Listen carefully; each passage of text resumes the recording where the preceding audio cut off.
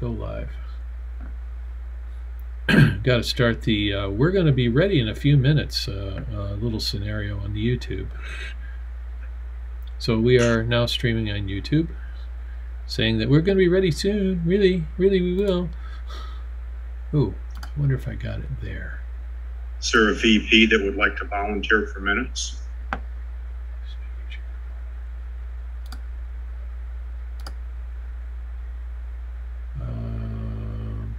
Well, see, that doesn't work, Joy. You're supposed to look like you never really heard that at all. Because Okay. we could take a look to the side as saying yes. okay, here's the quote. It's like beginning I wanted to give others opportunities to volunteer too. Exactly, yeah. So beginning Monday, fully Doesn't look like vaccinated. anybody jumping on it. Beginning Monday, fully vaccinated students, faculty, and staff who self-report their vaccine information to the university will no longer be required to wear a mask or socially distance indoors or outdoors for most area of campuses. Um, came recommendation, blah blah blah blah. Um, they would continue to require face coverings regardless of vaccination status in classrooms, on campus transportation, with participants in human research, and in healthcare areas where patients may be present. Um, that's pretty much it. They'll give you prizes if you register, things like that. So, but those two paragraphs were uh, indicative of what's going on. So it sounds like Monday they will be opening Yeah. up some of that stuff. Obviously, uh, you know, classrooms. I'm not sure what the observatory, how that qualifies as. But A, the Natural History Museum is opening next week. Limited capacity, masks are required. The observatory, well, the uh, planetarium is closed. Right. But I'm, I'm thinking of our McMath building, what they would say about that. And Yeah. maybe that's something that we just got to bring up with somebody. Say, hey, what do you Oh, count um, this as? I'll email Shannon Murphy and see what her what her take is on it. yeah. Is that Because that's the one I'd have to schedule the room with anyway. Yeah. So is that we'll see what she says. is that technically the astronomy department's uh, uh, property then? yes. Okay. Okay. Uh, so Well, astronomy sort of. department, astronomy department, LS&A in particular. Well, Right. if you're talking about, okay, Angell Hall, yes, the observatory. No, I, I'm talking about McMath at Peach Mountain. Okay, McMath at Peach Oh. Mountain comes under College of Engineering, Yeah. SEAS, Okay. and they have to look at their agreement, what they're doing out there, uh, which we're going to discuss. I have some information that might help, but uh, nothing that is officially or confirming it. Okay. don't- It's 7:30, so we uh, opened up our Zoom meeting to the stream, Okay. and looks like we got 18 participants so far. Where is everybody? I will predict by the time we get to seven thirty-five, that will be twenty-five. We'll see. Anybody, anybody taking bets? I haven't heard back from this mysterious Chuck person. Chuck. So Um, I mean, Charles, if what you say is true, I would definitely ask you to predict the stocks.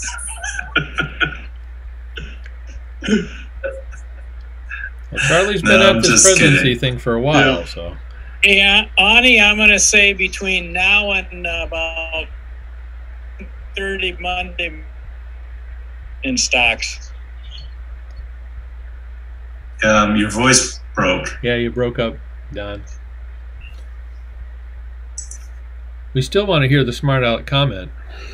Well, the smart aleck comment was, I predict the stocks will not change between tonight and Monday morning at 9:30. So you don't have to worry about it over the weekend. Depends. Are you talking about Dow futures or Dow industrials? Doesn't matter. The portfolio doesn't move till 9:30. Dow futures do matter. they do trade over the weekend. Yes, they do. Aftermarket and pre-market. And your other countries that have markets open trade There you go. on the futures. That's the futures. I'm so futures. glad I'm not in the market. It makes a couple of us, Doug. Well, that's, uh, the only thing I care about is the Libor, and that's why, you know, my, I, I get some crumbs off the gazillions that are, that are out there. That can, that can change momentarily. I, So- I've never, I've never liked, I've never liked legal gambling. Well, they say it's not gambling if you know what you're doing. Yeah, us pe- us peons don't know what we're doing, so it's. I'm not going to bother. I don't have to bother. I'm all set for it. We got three minutes to get those last three, Charlie. Your last Isn't two. that called insider Actually, trading? last last two. We're Last close. two, yeah. Wow. That knowledge thing, isn't that uh, called insider trading? Trading? Well, Yeah, that's that's what I call uh, cheating. that's why I won't play their game. you know, it's just like, you know, uh, accounting principles. Uh, you know, it all depends on the definition, where your boundary is for inside and outside. Yeah, right. Can you do insider trading if you run a, a company that makes plane models? Hmm. No, that's all exterior. That it's all interior? That would have to be superficial training. If it's superficial, I think I could do that. Well, if your retirement's through the university, you're in the market. Mm-hmm. Well, we might get to twenty-five, but now I'm thinking we won't do it by seven thirty-five. Oh, you We're never holding know. at twenty-three, so. Guest speaker. That's that second guest speaker. Oh, another one. Look at okay. how much that baby has grown. Really? I still remember Oh, when. he almost as big as his son. Yeah. Yeah. Oh, here she comes. Here he comes. So, Awni, will your child be giving the talk in your place? Oh, he's running after. Oh, yeah. And actually, I think we are close enough to seven thirty-five. So with that, I would like to call us to order. Uh, do you want to wait for Awni to come back? Oh, there he is. Yeah, I figured he'd be right back. Nah, we don't need it. We saw him orbiting around toward the sun there, so. Anyway. Sorry, uh, sorry about that. Yeah, oh, no problem. That kid's really grown on me. What are you feeding that? That boy? Food, just yeah, food. Yes, a lot of food. Yeah, Lots of it. driving us crazy. so anyway, I'm Charlie Nielsen, president of the University of Lowbrow Astronomers. Uh, we have several other officers present. We'll hear from some of them after our speaker tonight. Uh, this is our June meeting. Uh, once again, you notice we're doing it via Zoom, but we're hoping that that's going to get modified and we'll be able to do some live things pretty soon. So, uh, and just a reminder, as always, we also are recording on YouTube. So, with that, our uh, speaker tonight is actually one of our own, Awni Hafedh. And one moment here. There we go. Uh, is an amateur astrophotographer and a lowbrow member, as we know. He got himself involved with astrophotography since 2015 to share with his family and friends the unseen beauty of deep space objects. And he is still fascinated with the majesty and challenge of this hobby. What we didn't know about our uh, Awni is that he also loves archery, diving, and he's looking very much forward to seeing everyone in the star party hopefully soon. That we would have guessed. So, with that, you have the stage, Awni. Okay, hi everyone. Um, um, I'm the speaker today. Um, in very short notice, I managed to get you guys a presenter presentation about solar imaging and processing, which I hope it's going to make sense. Um, do let me know if I'm too fast or if I'm if all the information are too complicated at the end of the presentation, I'll be more than happy to explain it and make it even simpler. So let me start the share here. Share screen. Yeah. Everyone sees. Can you can you can you see the screen? Yep, we Yep. see it good. Gotcha. So, um, do follow me on Facebook or Instagram if you have any question. I do share my um, images over there um, with all the comments or you know everything that I learn.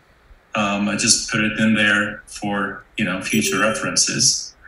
Um, today's uh, presentation is about solar imaging and processing.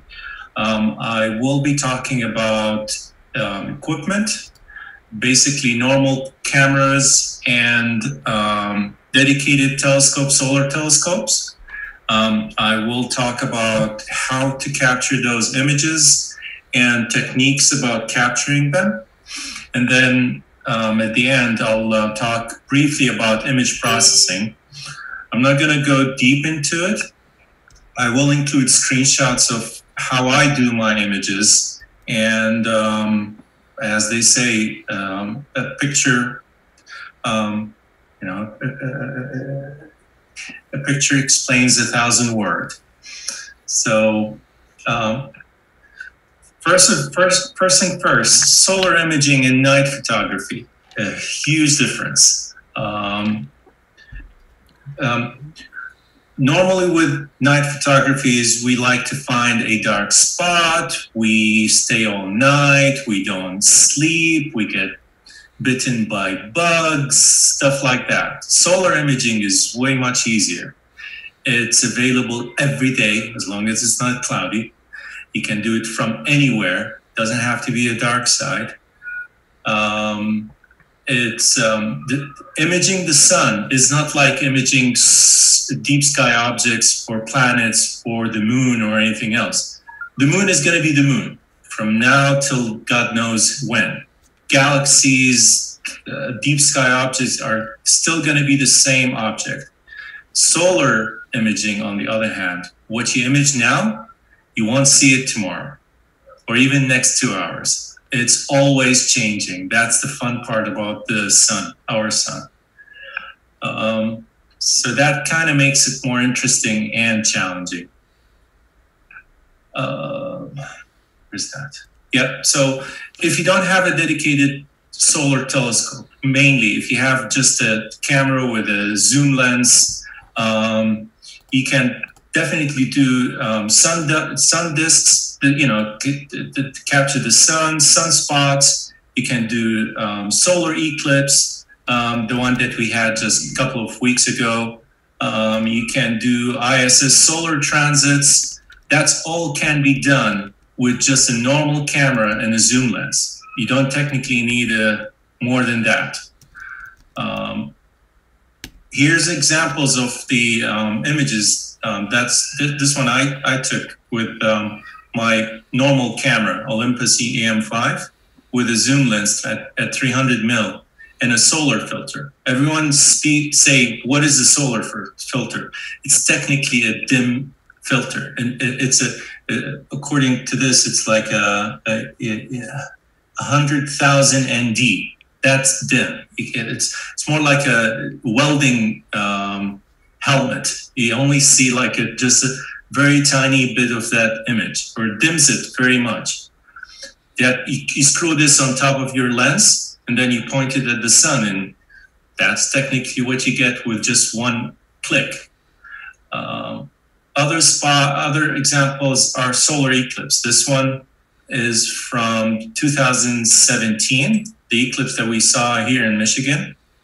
Um, and again, that was done with the same camera, just one click every um, every 30 seconds or every 20 seconds, and then just stacked together and created this video. That's one thing you can do with normal camera. Um, the there you go. The other thing you can do is solar transit or ISS transit. I'm sorry. Um, just basically predict where the when the ISS when and where the ISS is gonna um, pass in front of the sun, and um, you know it, it, with this one you'll need a, to capture a video, not a not not just like click, not not just a click, uh, a, a, a fast rate video that will capture the whole thing across the sun, and then you can just stack all the frames that where the ISS um, uh, passed in front of it, and you know create this picture. That wasn't me. I, I don't have a ISS transit in front of the sun, so I got that from from Google, someone. So um, I'll just uh, for the credit. Uh, now with um, solar dedicated scope, it's a totally different beast. Um, you can still capture the sun disk, you can still capture um, sunspots, um, but way more details. There are tons of structure and um, texture within the sun.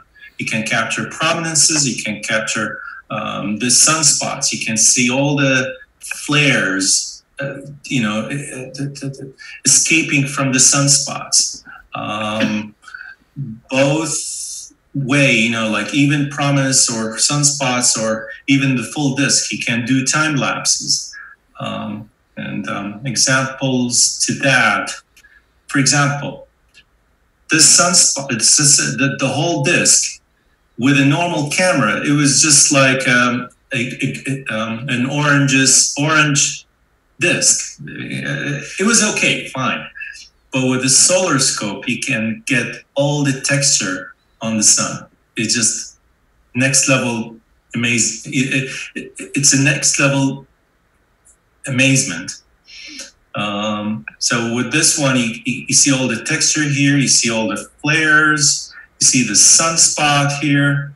Um, so that's one thing. You can zoom in and you can get the prominence as well, um, as well as the, the texture on the sun. You know, the, the exactly the prominence.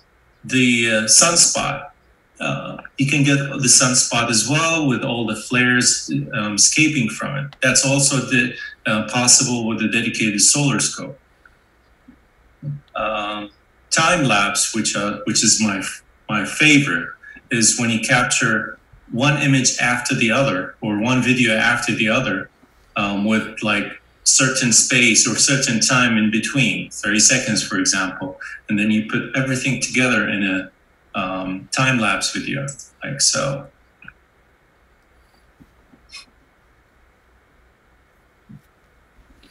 So what you're looking here is um, a time lapse that was captured for two hours, but then uh, played so fast that you can see all the changes um, in a very, you know, you, you, can see all the changes super fast.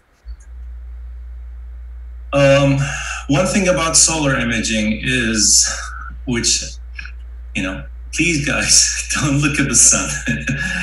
it can ruin your eyes.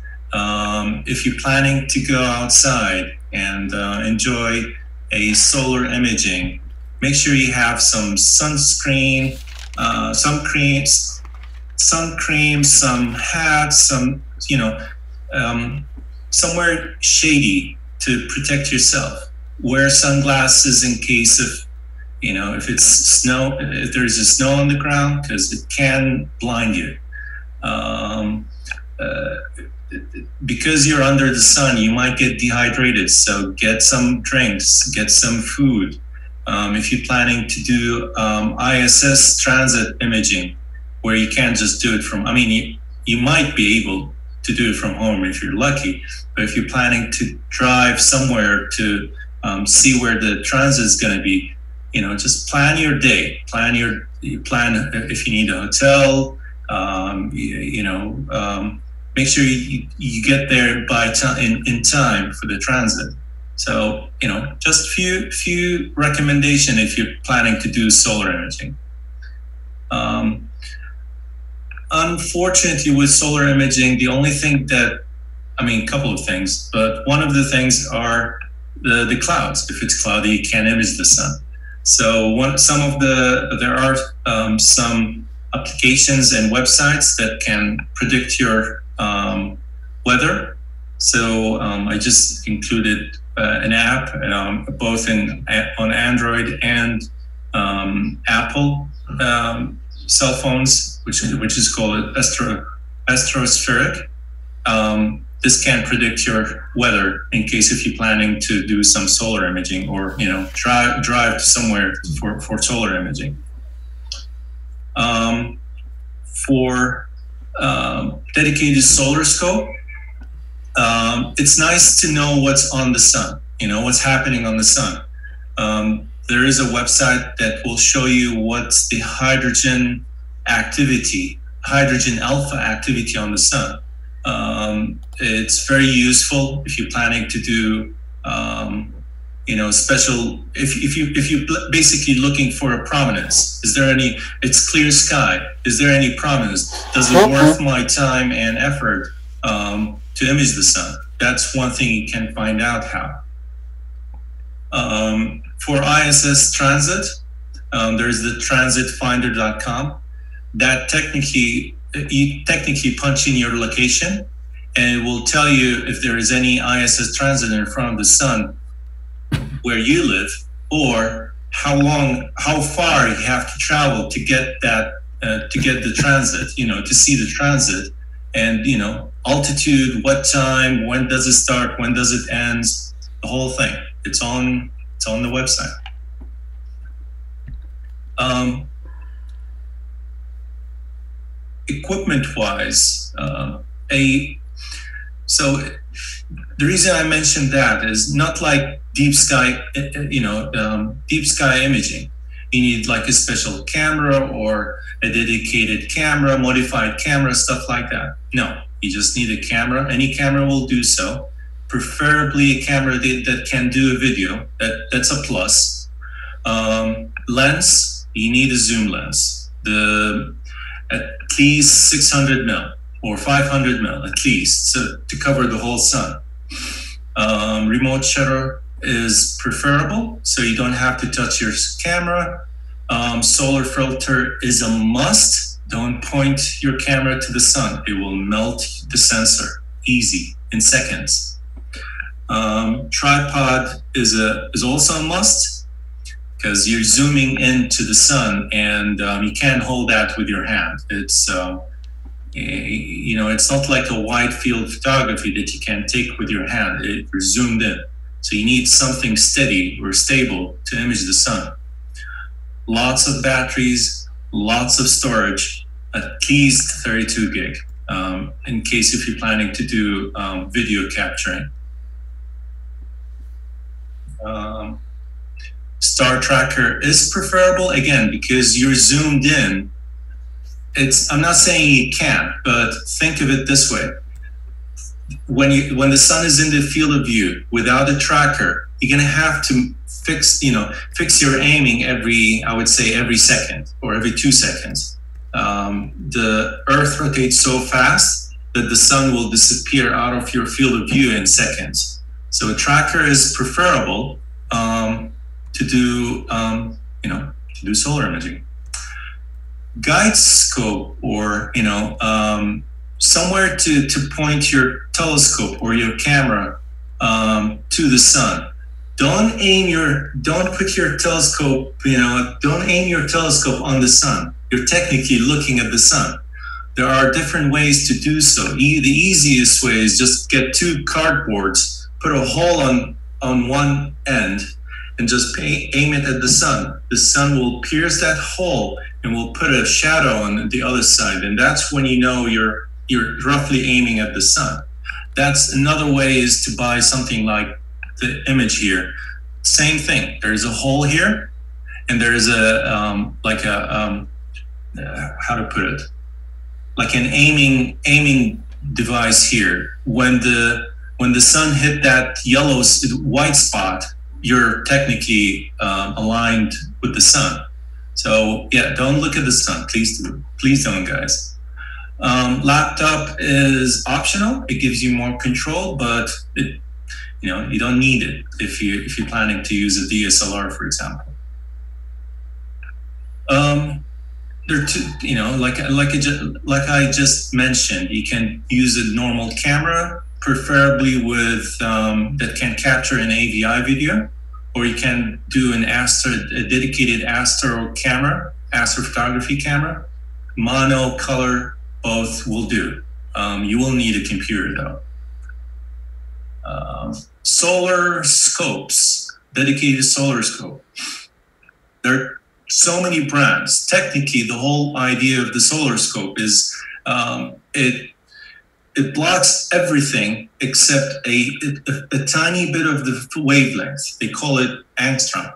So they it only passes point according to this 0.7 angstrom at um, 656.28 nanometer. That's super tiny. And um, even with that, you can there are certain mechanism within each solar scope that shift that angstrom to get that perfect contrast or you know perfect um, uh, brightness um, that you like. And some some of them are done electronically, like the uh, what is that? Like the Daystar. Some are done uh, mechanically, like the uh, uh Coronado, yeah, you know, like the PST or the Lunt telescope. Um, Lunt is, uses the pressure pressure uses pressure to shift that angstrom. Um, PST uses like tilt mechanism to do so. Um, anyway, each one has a different way to image the sun and shift that angstrom um, within that wavelength. Uh, each one is they're, they're not cheap, so um, but the images that you get out of it is just next level imaging. Um, like I said, tracker is preferable because you're zoomed in. Um, you don't, like I said, like I mentioned, you don't want to modify your, you know, modify your aiming every second, um, especially if you're like waiting for an I for ISS. You have other things to to deal with you know like when it's going to pass are am i on time? You don't want to go waste your time every second oh I'm, I'm not in the middle oh i'm not in the middle i'm not in the middle tracker is definitely preferable and it's it's a must if you're planning to do time lapses it's just time saving that's my setup the um, this one is my setup previously. This is just a normal camera with a zoom lens. I had this DIY shade to cover the uh, the camera from the sun, you know, so it won't heat up.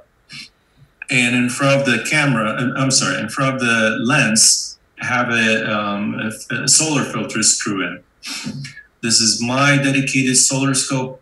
Um, pretty much everyone saw it um, last last year from the uh, astronomy at the beach, and um, uh, it's a, it's connected to a dedicated solar um, uh, dedicated astro camera, and everything is connected inside. I don't have to go outside and fiddle with it. Um, that's just uh, that's another uh, guide. Uh, I'm sorry, that's another tracker that you can get. Um, uh, Adrian uh, probably I believe Adrian still have something like that, and he just loves it. It works like a charm when he shoots the moon, or even when he did the solar eclipse um, um, a few weeks ago. It works like a charm. All, all, I'm trying to say is, as long as anything that keeps the camera close to the sun or keep the sun in the middle of the uh, field of view should work. My name is Adrian Bradley, and I approve that message. Okay, so um, with solar imaging, you don't. It's more not. It's it's not as complicated as the deep sky optics. Um, those who are familiar with deep sky imaging, you need bias frame, dark frames, um, certain amount of subs. It might take forever to capture the darks, etc., etc., etc with solar imaging, all you have to do is just click. The sun is so bright, you don't have to do long exposure. You just like a single click should do. If you need more details within the image, a video is preferable. Um, flats are definitely required. I mean, might be required if, if your sensor is super dirty. Yes, flats can be captured as well and applied. And then, um, you know, uh, later we'll discuss the calibration and stacking. Camera settings, um, uh, again, you're not doing long exposures, so um, anything between, um, you know, within 15 millisecond exposure, that's more than enough. Um, ISO 100 to 800 depends on what the whole thing is related to the frame rate. If again, if you're capturing a video, the faster the frame rate, the you're technically beating the um, the seeing. So you play with your ISO and your exposure to get the fastest frame rate. Um, as I'm going to show you examples, um, um, the uh, solar capturing. Um, f-stop, again, depends on the frame rate. Um, you don't have to do like F2 or F4. That's way overkill. Um, F8 and above is, is normal. Uh, if you're planning to do once, you know, one image to file or raw image, or, or if you're planning to do a video, um, either AVI or SER format. Reason B is they're not compressed. You're going to need them later on to when with the image calibration and stacking. But the whole idea is for the camera settings, whether it's a dedicated astro camera or a normal camera, in case if you're doing a um, single image or a video, is your frame rate. You need fast frame rate to beat the seeing. Uh, I'll probably just talk about that. Um, you can do one image or you can do um, a video of thousands of images. Uh, again, the reason we do that is bec- um, even with the sun, you get like the um, seeing effect. Uh, it's like looking through. Um, it's like it's like looking through the um, candle. The whole thing will shift. And again, I'll, I have examples later on to show you guys. Uh, so capturing multiple um, frame, you know, video with a lot of frames, you're technically going to capture that perfect picture out of those thousand frames. Um, and uh, you can, or you're only going to stack those good pictures together to get that perfect image.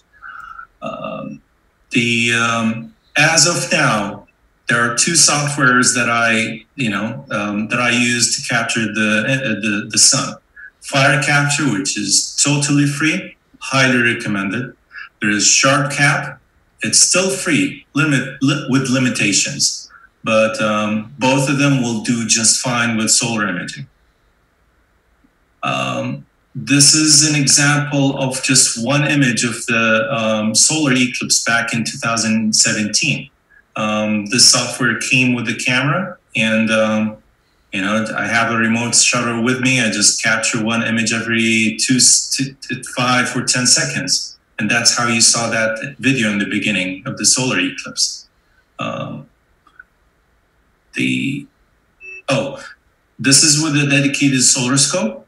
Uh, it's the the image here is a, it's a, a, this is just a one frame out of the thousand 2000 frame video and this is a stack a 10% stack of those 2000 frame meaning um, uh, i'm stacking 200 um, images out of those 2000 frame um, together the best ones. You can definitely see a difference. I don't know if i don't know about you guys but like the the pro, the the flare here or the sunspot here here is way much sharper. You get much cleaner image. You got this image is like you got dots everywhere where here it's smooth and uh, perfect. And the reason i said that you need a video for example oops see how much the sun uh, solar imaging wobbles. That's that's normal. That's perfectly normal. And um, the reason you captured too many video, a video with too many frames 200 out of those 2000 frames are going to look perfect. And that's what the software is going to stack. So again, that's the reason why you capture a video. Same thing here. This is the stack. Unstable. Internet connection is unstable. Uh, hold on, guys. And um, I think your connection just went back to being a little more stable. So there. See how much? This is how much the uh, solar imaging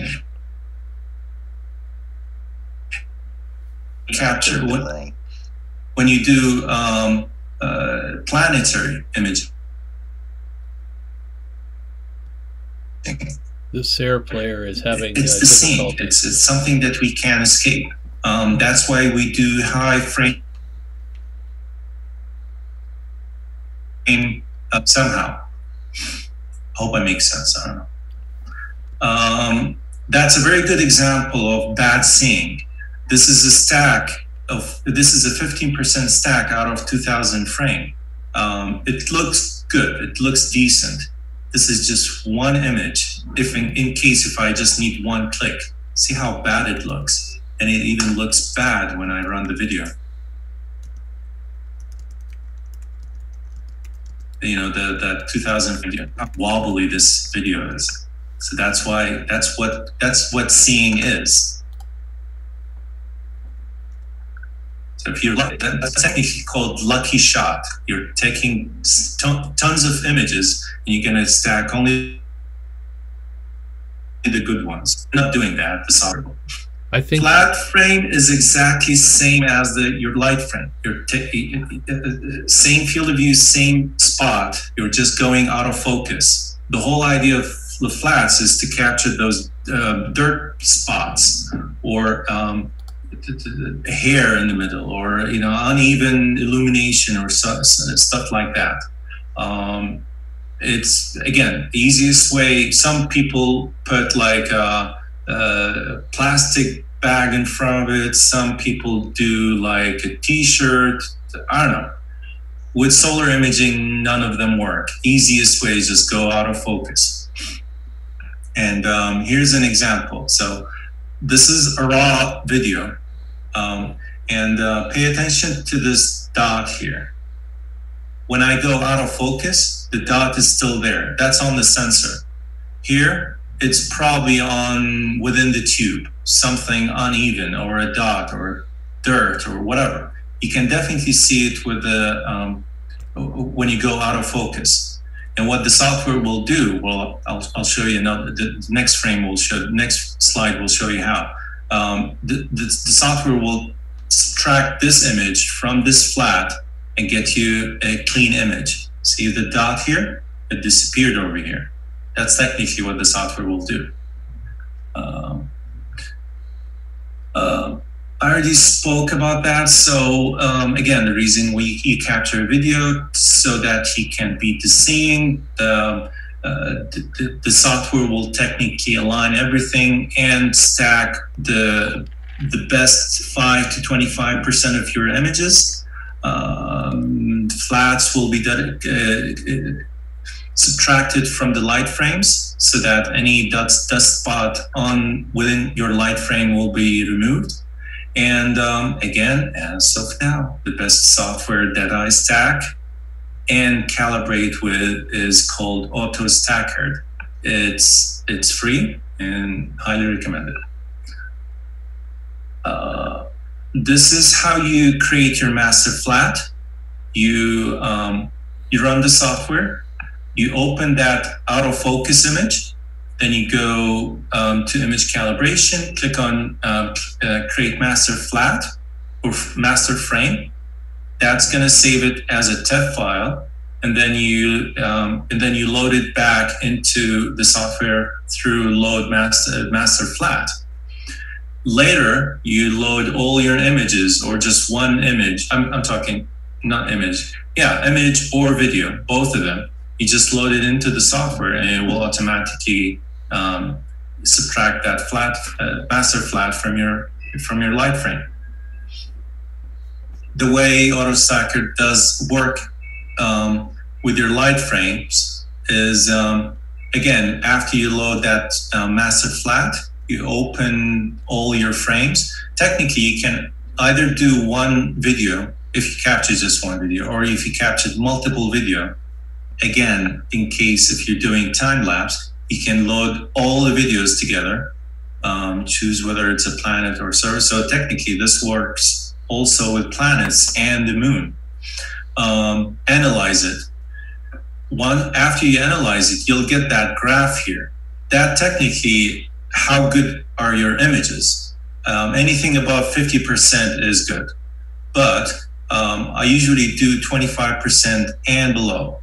Uh, you don't need a lot of frames to, um, you just need the best frames to be stacked. So in, in, in my case, I only choose 10% of those um, 2000 frames. And um, you just, um, you know, if you want to multiply it by two or just without any sampling, and then you stack it. That's going to end up creating a, a one file um, with the you know the stacked file of those 10% frames. Um, image processing, after you get that frame, you can either uh, keep it as it is if it's a good frame, or you can do some sharpening and adding color to it. Um, it's from now on it's technically self preferences it's it's it's whatever you your your, your eyes is pleased with. Um, sharpening can be done with multiple softwares. There is the impg imppg free software.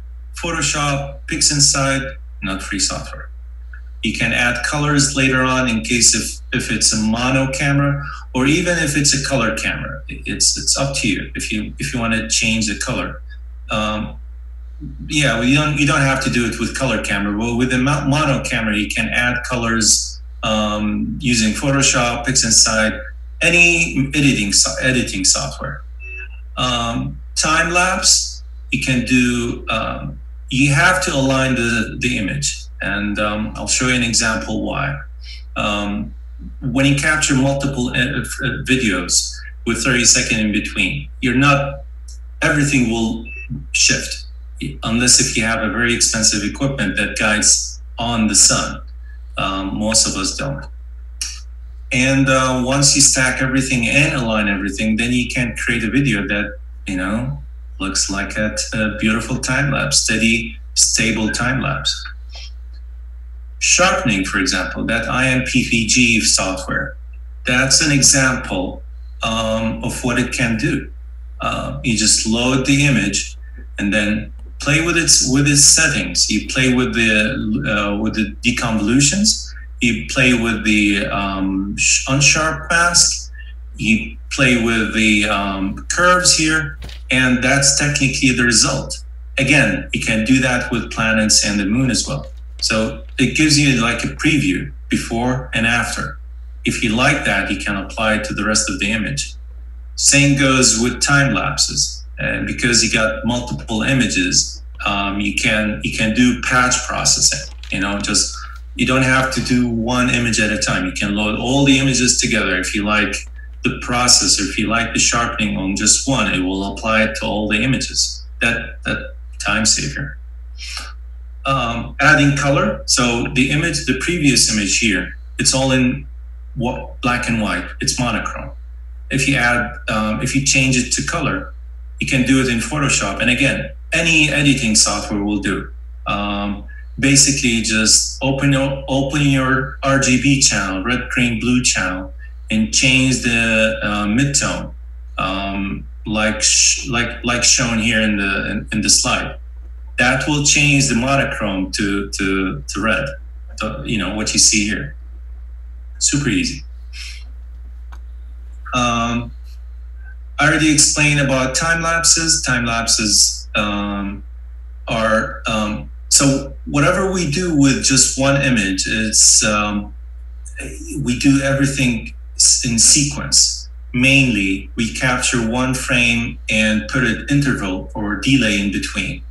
And then we do so for the next two hours or three hours. And then the final frames, we just put them together and run them as a 20 frame per second video. Um, and that will technically, it will show all the activities that he captured in, for example, in one hour in three seconds. Uh, you know, I, I, put an example over here. Um, simple math. Uh, you will again, um, you will need to do what you just saw about the sharpening and the calibration and the alignment, everything. You're gonna have to do it for every image.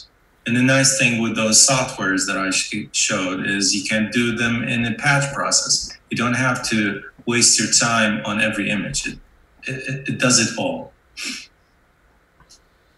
Uh, an example, um, oh yeah, for time lapse, again, when I mentioned that you have to align all the frames together, you don't, we don't have, pro- for example, you have a simple guide, guide uh, tracker and you don't have any guide scope with that. I mean, solar guide scope, which is very super expensive. You don't have any way to keep the sun in the middle. It's always shifting. If you stack your images without aligning it, it's gonna look like that. It's just, it's not pleasant. It's not, there's nothing fancy about that. Um, that's normal. Uh, for example, uh, uh, there are uh, a lot of software that can do the alignment or uh, you know the stabilization. PIPP is one of them. AutoStakkert also can do that. Um, IMPPG also can do that. You know, you got tons of options to do so. Um, here's an example from PIPP. You just load all your images that you captured and within the processing options, you can apply surface feature stabilization, stabilization crop it, and it, it goes like it, the, the blue one is the cropping, and the red one is where you need that feature stabilized. If after you run that, it, the, the software will create a video for you or individual files. It's up to you.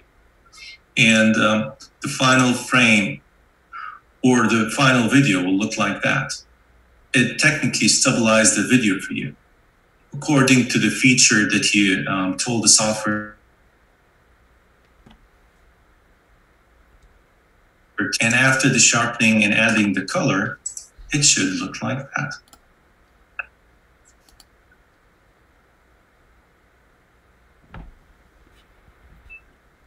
I think the uh, when the Serifile viewer goes backwards, that's when your computer stops doing the networking stuff.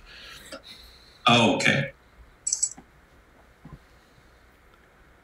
Thanks for that. So uh, I don't have any SER player? Nope.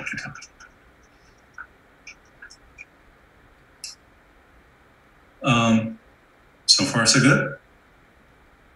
Um, again, um, the um, if you like to try any of those softwares, here's a link that you can download it. Um, again, I didn't go deep into image processing because each one of them, if you if you search YouTube or Google, you'll get tons of educational videos that will tell you how to do it. And, um, again, if you need any help, just let me know. I'm, I'm more than happy to help.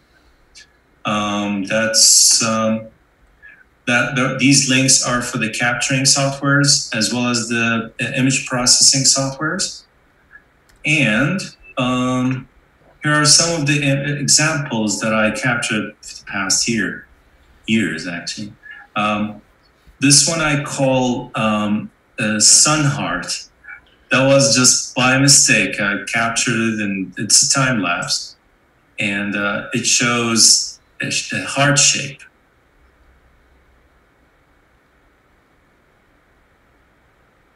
And that's with the dedicated solar scope. Um, technically capture the prominence um, with 30 second exposure, I mean, um, 30 second interval in between. And um, again, by chance, I get I got that heart shape in, within the prominence. Um, let me just fast forward. There you go. I don't know if you can see the heart shape. It was just epic. Um, I call this the um, sneezing sun. Um, watch this guy. Achoo!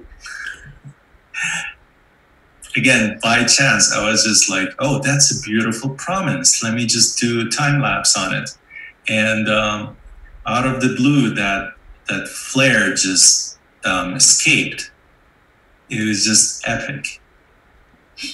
Um, the um, you can also do just one video um, like that with the with the with the prominence and the sun um, uh, the sun surface. And um, nice thing about prominences is few people know about that is it can swallow um, 10 to 20 Earth-sized planet. That's how big this thing is. Um, I did put a, I did scale Earth next to it, so just to give you an idea how big that prominence is. Um, that's another example um, of a time lapse. And um, this is only two hour time lapse, capture the sun for two hours, but it does capture the sun's rotation. You can definitely recognize it um, in this video. There's a, the whole thing rotates just tiny bit. That's just for two hours. It's just, it's just beautiful.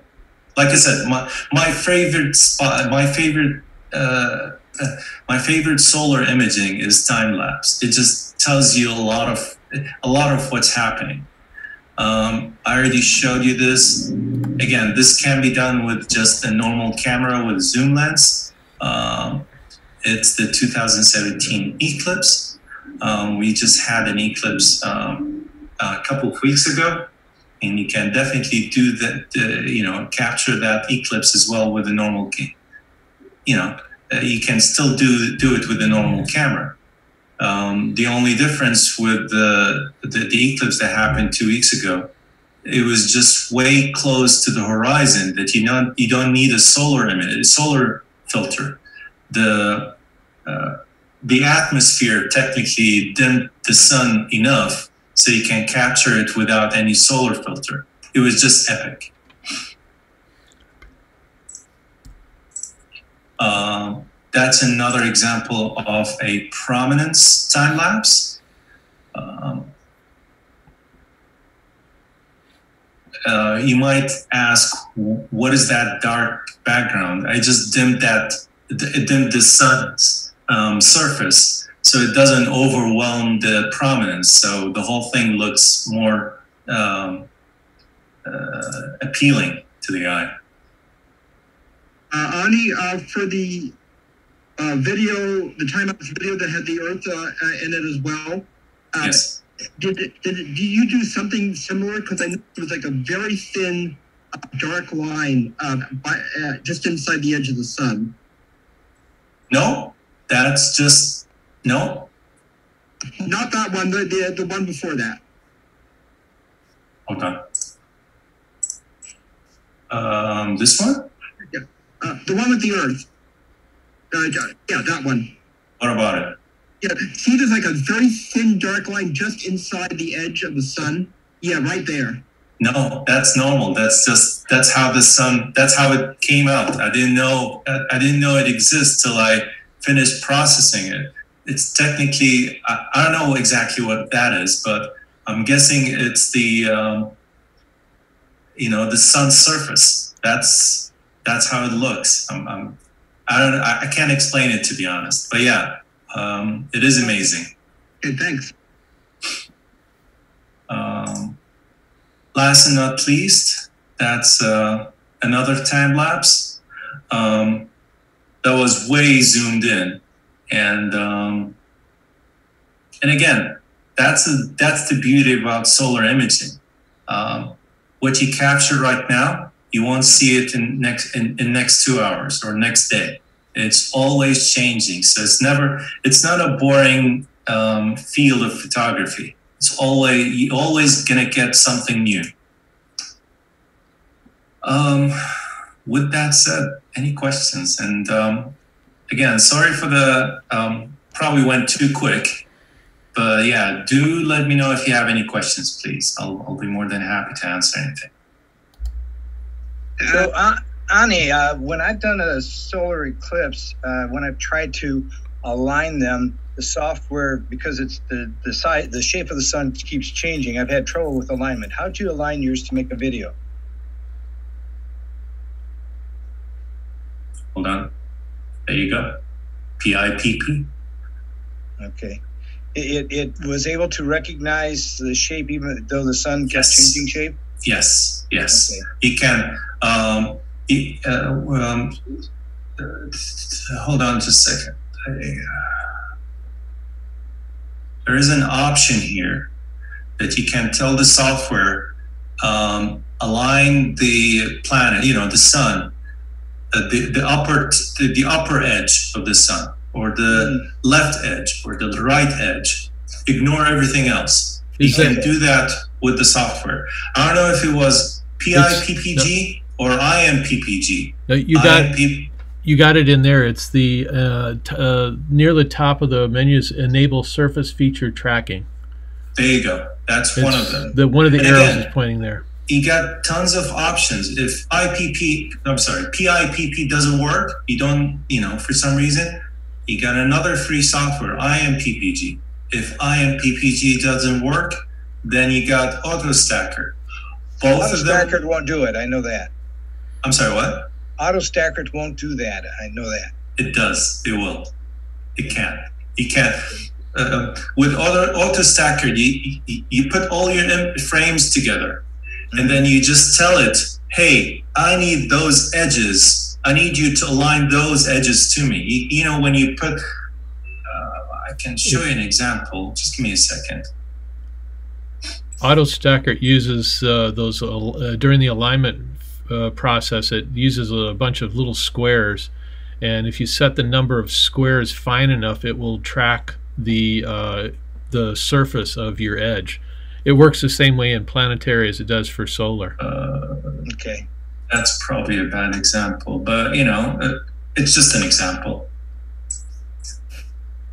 Okay. You see those sampling points?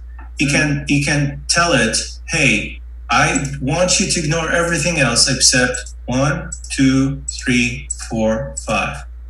I need you to align my image according to those sample points. Right. Okay. I'll give that a try. There you go. So you just pick that the, the edge that is always visible in the solar eclipse. You know, you click, you put those sample points on top, and the software will do the um, alignment for you. Okay.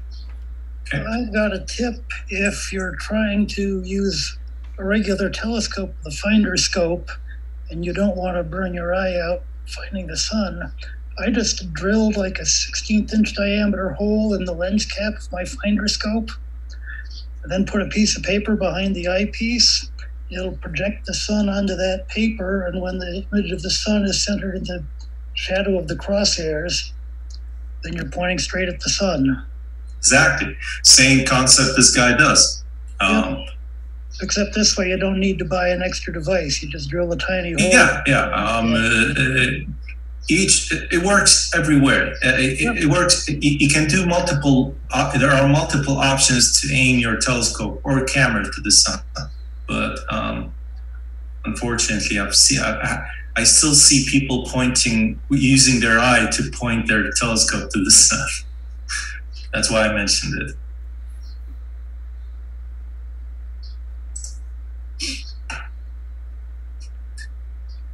Any other questions?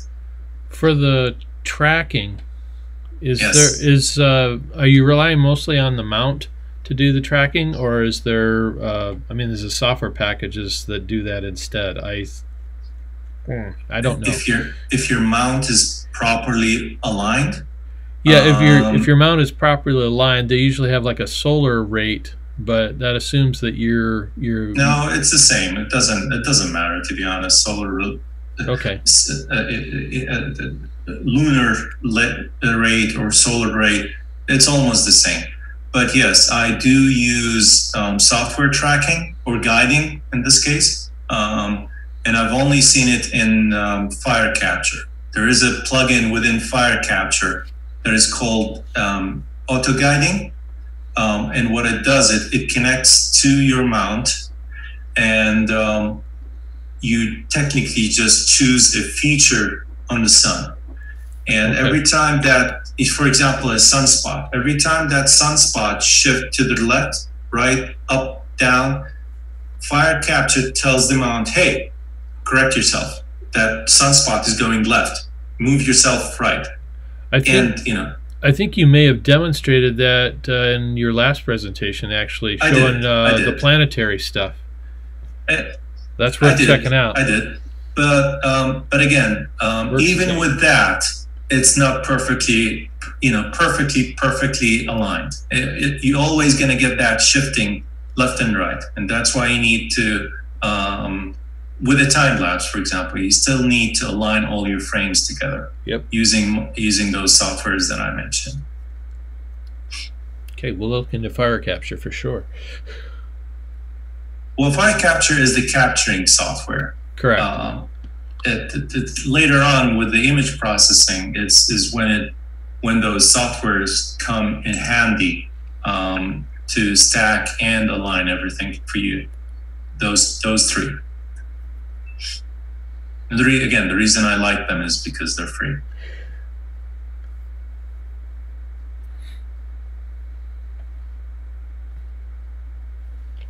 Any other questions for Ryan?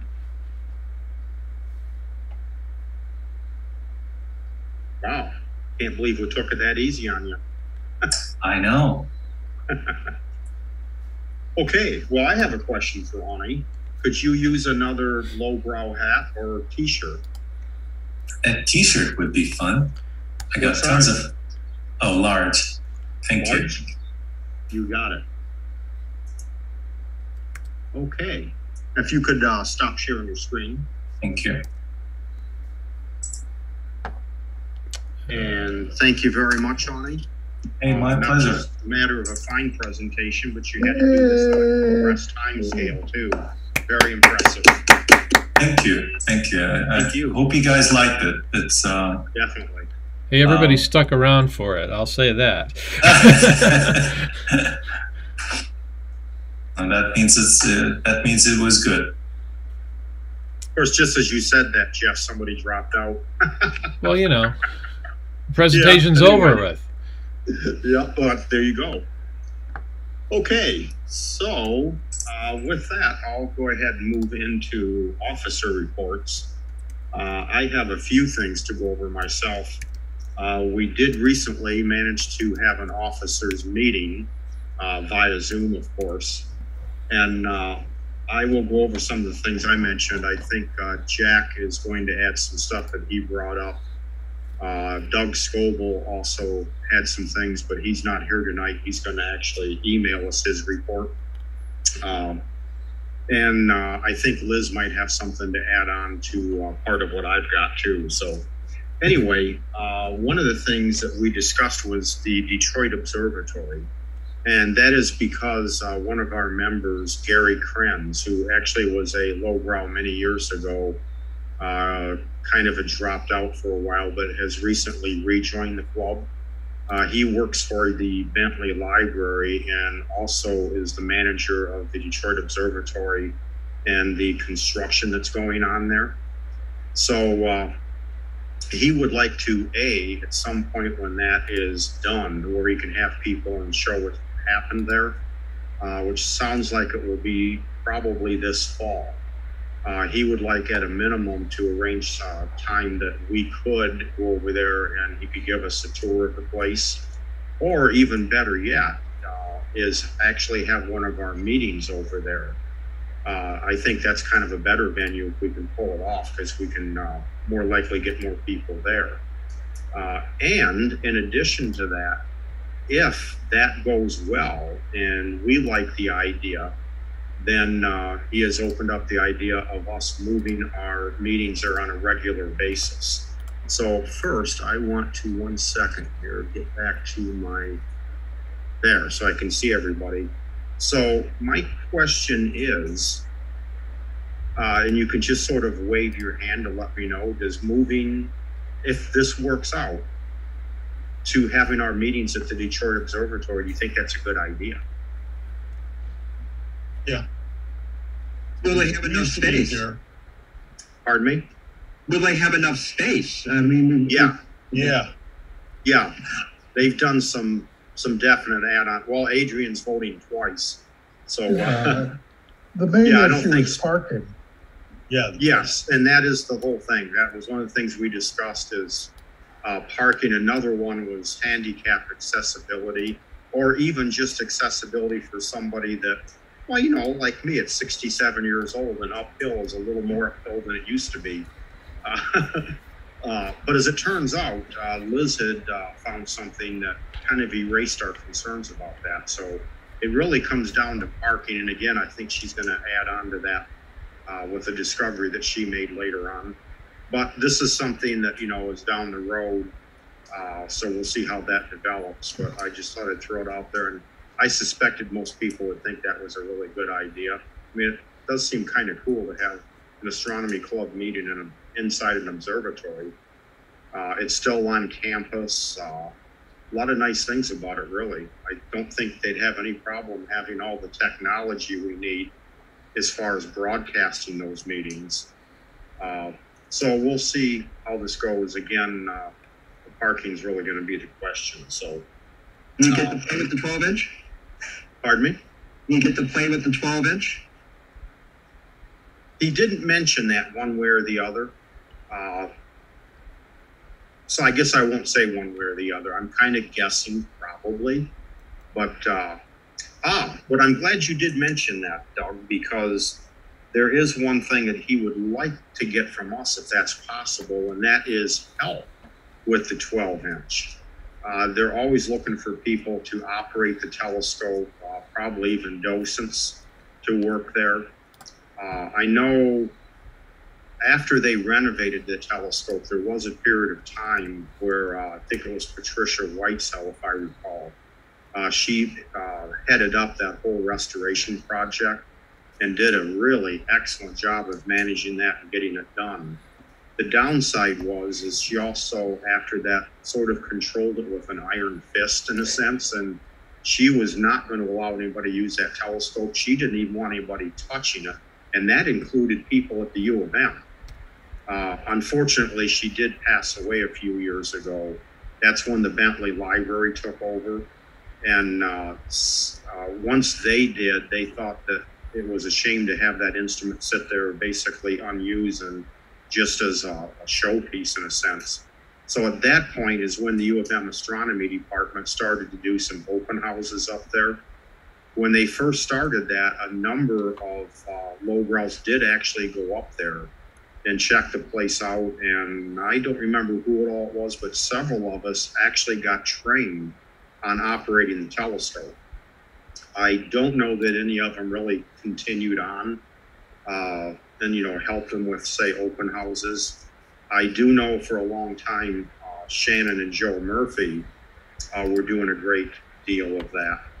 Uh, and, and possibly that's part of the thing is that they were the only ones and they would like to spread that around a little bit. But I guess I'm surmising there. So, uh, but that is something that Gary's going to hope that maybe he can uh, find some help with that amongst our club members. So, but anyway, we'll see how that uh, goes along and develops. So I think at the very minimum, we're going to have a meeting over there probably, and and we'll just sort of take it from there. So.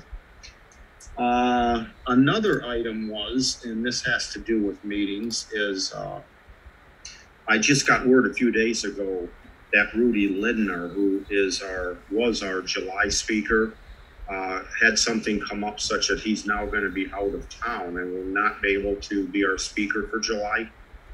So we thought, well, do we go looking for a replacement immediately? Uh, however, uh, another thing that was discussed at the officers' meeting is an idea that Paul Wapolsky actually brought up to me, and that is a resurrection of something that we did many years ago, and that was a swap meet.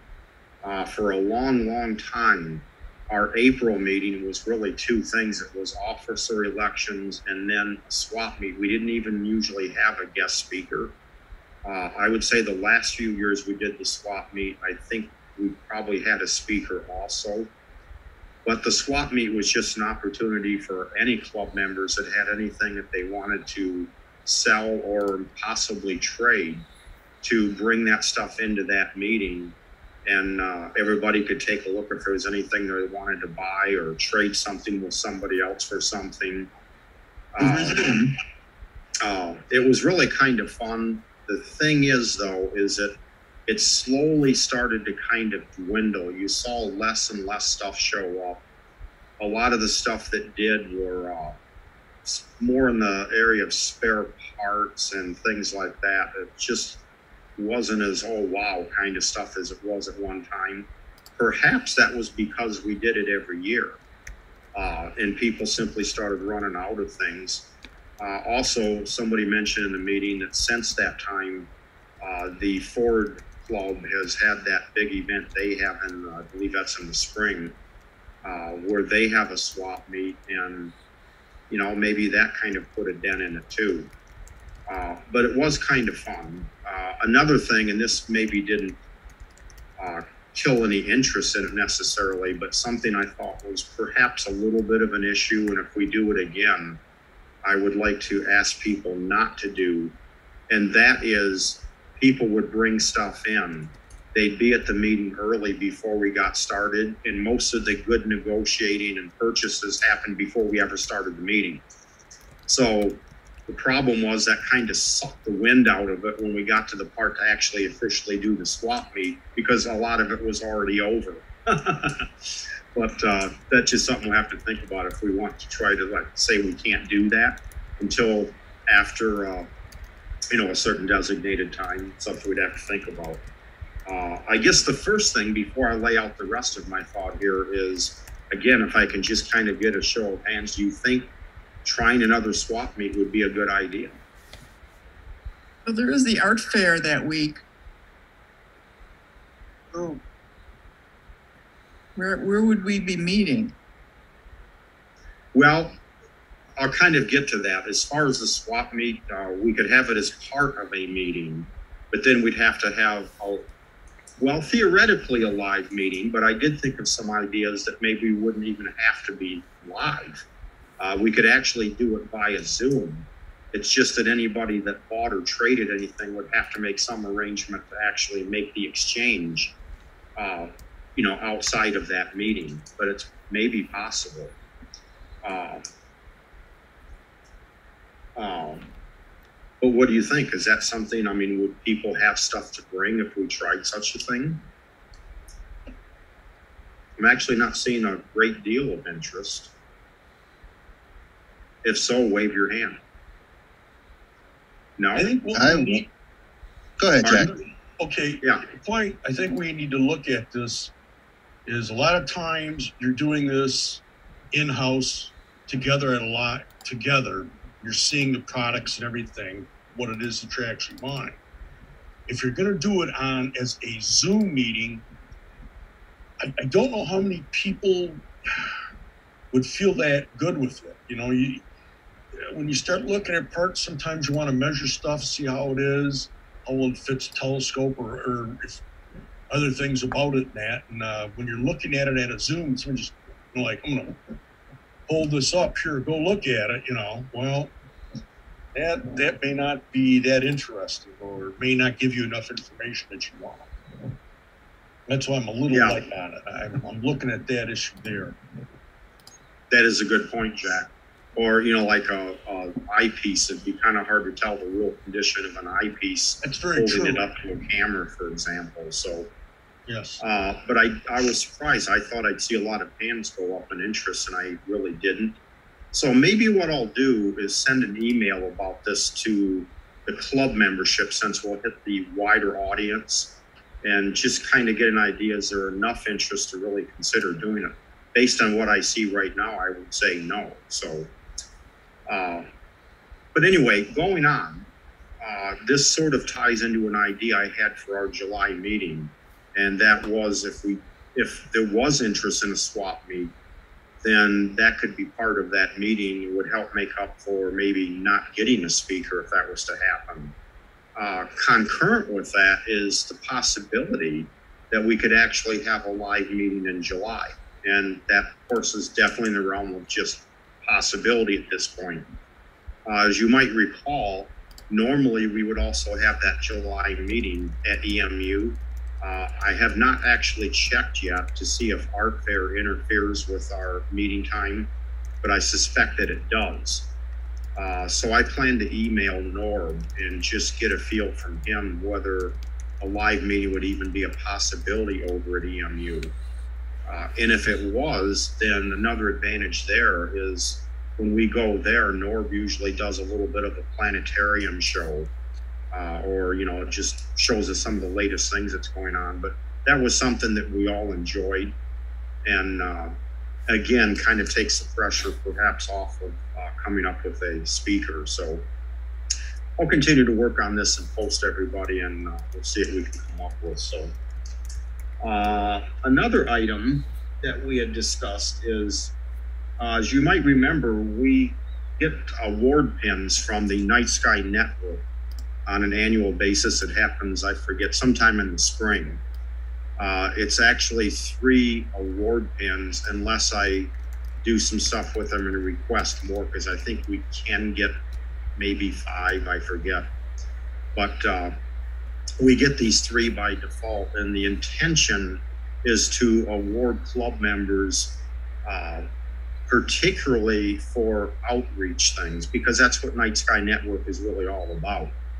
Uh, so what happened is, I guess it would be almost three years now ago, I got the three pins in. They went into an area inside my briefcase, and I sort of neglected to even notice they were there for a while. And then the next thing you know, COVID hit, so we couldn't meet anyway. And then right behind that, I got the next batch of pins. And then I got the next batch just this last time. So two of those times we couldn't meet live anyway. So the net result is I've got three years worth of pins or nine of them. So we had some discussion about who we thought those pins should go to. And as usual, we could think of more people than we have pins, but uh, but we did come up with it. Uh, again, it was mostly to do with outreach, and we're kind of looking back over the last three years. So that first year, it would be people that say were involved in open houses or other outreach things. But since COVID, the biggest outreach thing we've really done is astronomy at the beach. So as you'll see, uh, that was a one of our focuses is who was involved in that. Uh, in addition, we had some people that uh, have done little observing things for us. Uh, you can probably think who those are, and I'm going to name them in a minute, that were not even necessarily part of astronomy at the beach. Uh, we even considered things like is the newsletter part of outreach? So, uh, with that, what we came up with uh, for, again, any of these reasons or more than one of these reasons, we came up with Adrian Bradley, Ryan Autumn, John Wallbank, Jeff Cop, Cop, Cop, excuse me, Kopmanis, Doug Bach, Jim Forrester, uh, Don Foley, uh, because he did a lot of years of newsletter editing. And really, so did Jim Forrester, but he also puts together our open house schedule and if there's an open house or something, Jim is there, as well as doing the club uh, member uh, events that we've done there. And also Joy Pauling and a guy we just heard of from very recently, Awni. So uh, if I counted right, that gives us our nine uh, recipients. I will hopefully see that those are in my briefcase from now on, and we're able to meet live. I will start distributing those, uh, you know, as I can. The complication too is that there is actually a year marked on the pin, but we can't totally line up the years with how we decided who should get the pins. Uh, it just didn't really work out. So what I might do is just kind of throw them in a bag, so to speak, and when I hand them somebody, they can just reach in and we'll see what they get. They're all nice. It's just that maybe we could have thought, well, you're getting one mostly for astronomy at the beach, but maybe you got one that says 2000. Uh, what would that be? You know, the year before COVID. So at any rate, yes, thank you. I couldn't figure that out for a second. Uh, and actually, that was the only things I wanted to cover as far as the meeting. I don't think I have anything else. So I will move on then to other officers, starting with Joy. And thank you for doing the minutes, Joy. You're welcome. Um, updating the schedules, just waiting to hear when we're actually going to do something live somewhere, and I'll change it to say that. Thank you very much. And how about Liz?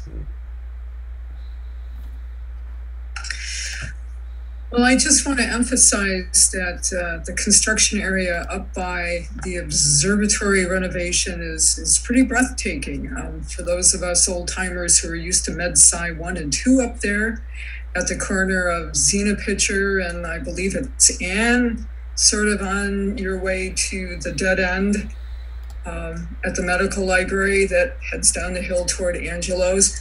It's a crater at this point. Okay. Um, they do still have that section of Ann closed down completely between Zina Pitcher and the roundabout at Observatory, which is where the cardiovascular center is. Um, construction continues on the observatory renovation itself. It's going to have, I believe, its main entrance on observatory, and then it looks like there is a, a walkway up to the observatory building itself. So there's going to be a modern building there, very nice looking, and then it doesn't look to me from the outside that there's a way to get into the observatory building except from going up uh, a little pathway. I I must not be seeing what they really intend there. So I'm I'm disbelieving my eyes. The parking situation, that construction on the new hospital building, of course, is going to be a couple of years. So you can well imagine that there are going to be problems uh, for at least two years as you know construction teams come in and out. Um, the closest mass parking, I think we all know who are familiar with that part of campus, is going to be at public health. Um, now, the Hill dorms are their own, you know, luau on Friday nights. Um, even in the 1950s, when my mother was at Mosher Jordan, it was kind of a, you know, a party place up there. So, but the idea of having lowbrow meetings up at our dedicated observatory building on campus and a historic building going back into the mid, you know, 19th century, especially since the university celebrated a bicentennial not too long ago. I, I think that is a tremendous opportunity. Again, the logistics of parking have me a, a little concerned, and it's kind of a commute to Pizza House, and I know this is all a priority for us. Right?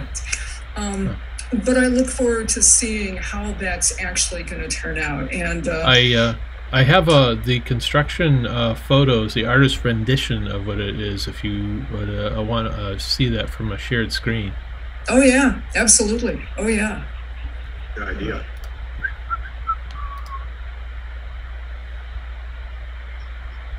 You guys see that? Yeah. Yeah. So they've got the uh, the old observatory here, and then uh, the modern building there. Now, what it Yeah. doesn't show is the high rise that's going up across the street uh, this way, Right. but gives you an idea anyway. There we go. Yeah, that's pretty much what they're building up there. So, um, that's all I have right now. Thank you. Yeah, the only parking I know of up there is that blue lot behind the School of Public Health across from Marion Markley. Um, you know, kind of, had Ronald McDonald House that's just down the street. That lot is open to the public after five PM. and it's two blocks from the observatory. Uh, but I have no idea what it's like there on a Friday night. I've only gone up there to use it to go into the yard. Um, that's the only parking I know of that's in any, you know, sane distance with, of that building or, or will be for the next couple of years anyway.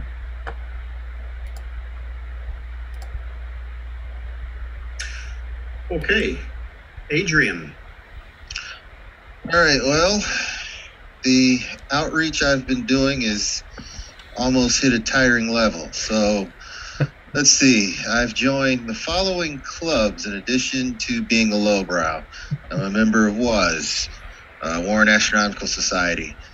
I'm a newly minted member of RASC, the Royal Astronomy Society of Canada, because I've made friends with David Levy, Kareem Jaffer, and a few of the uh, RASC members from Montreal, Canada.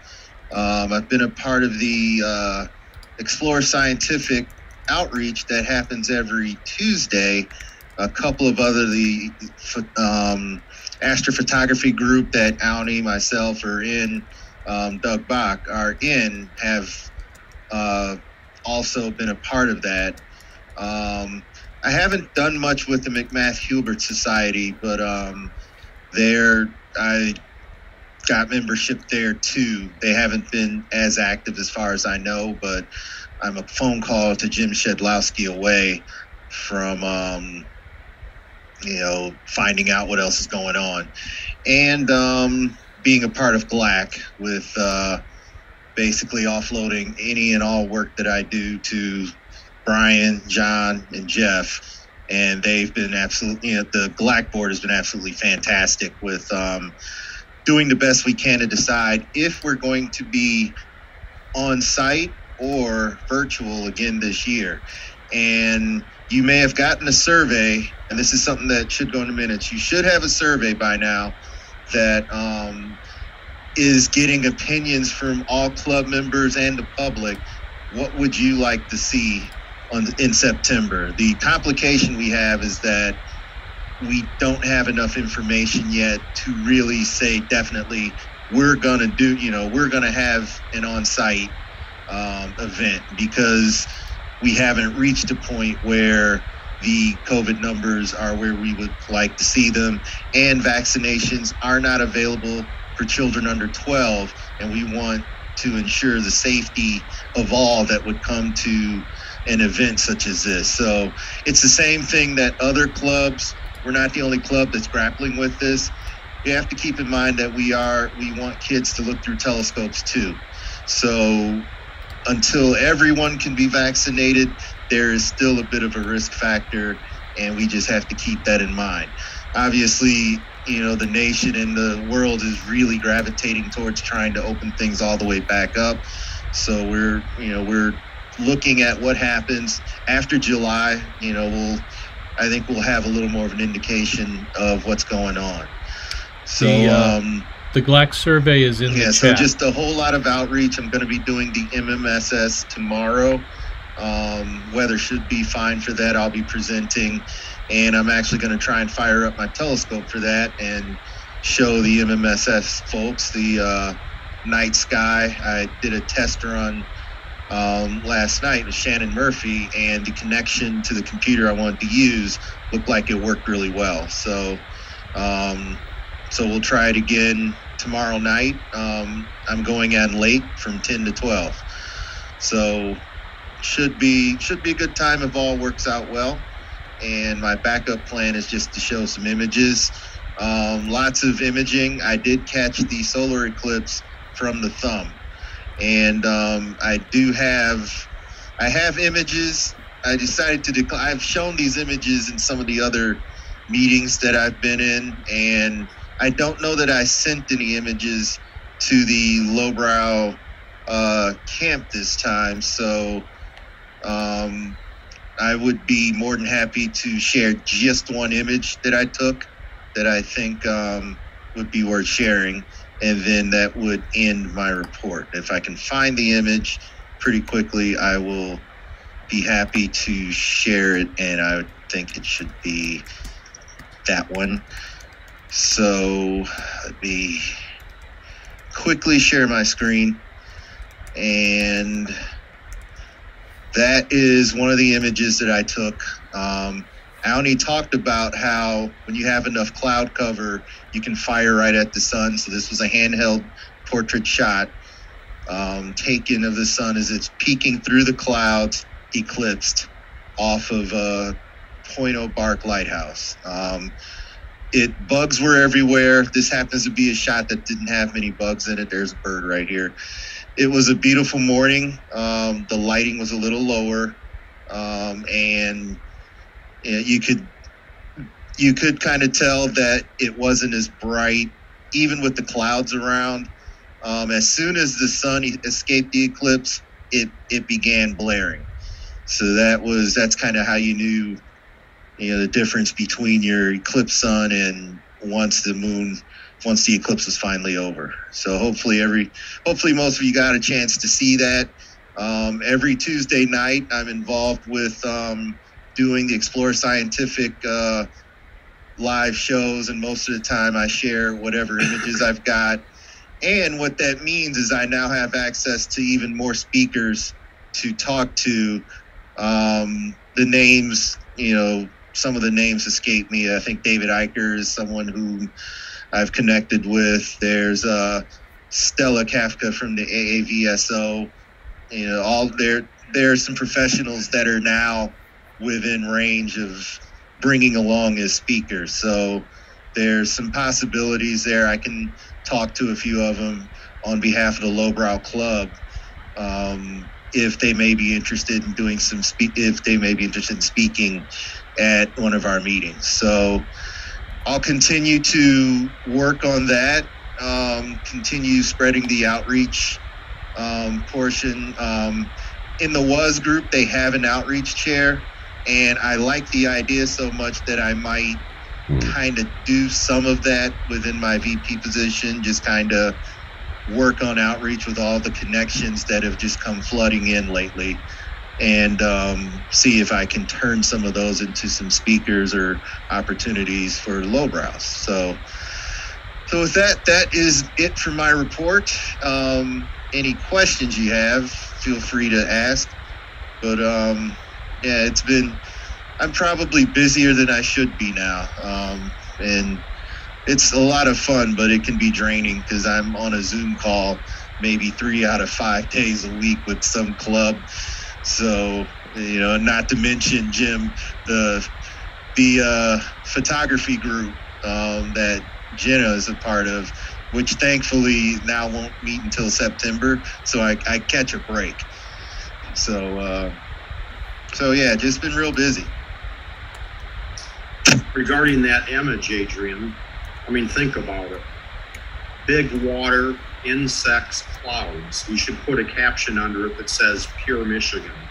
I, you know what? I had a Pure Michigan on Instagram, a Pure Michigan page contact me with one of the images and um, said, really? yeah, we'd like to use them.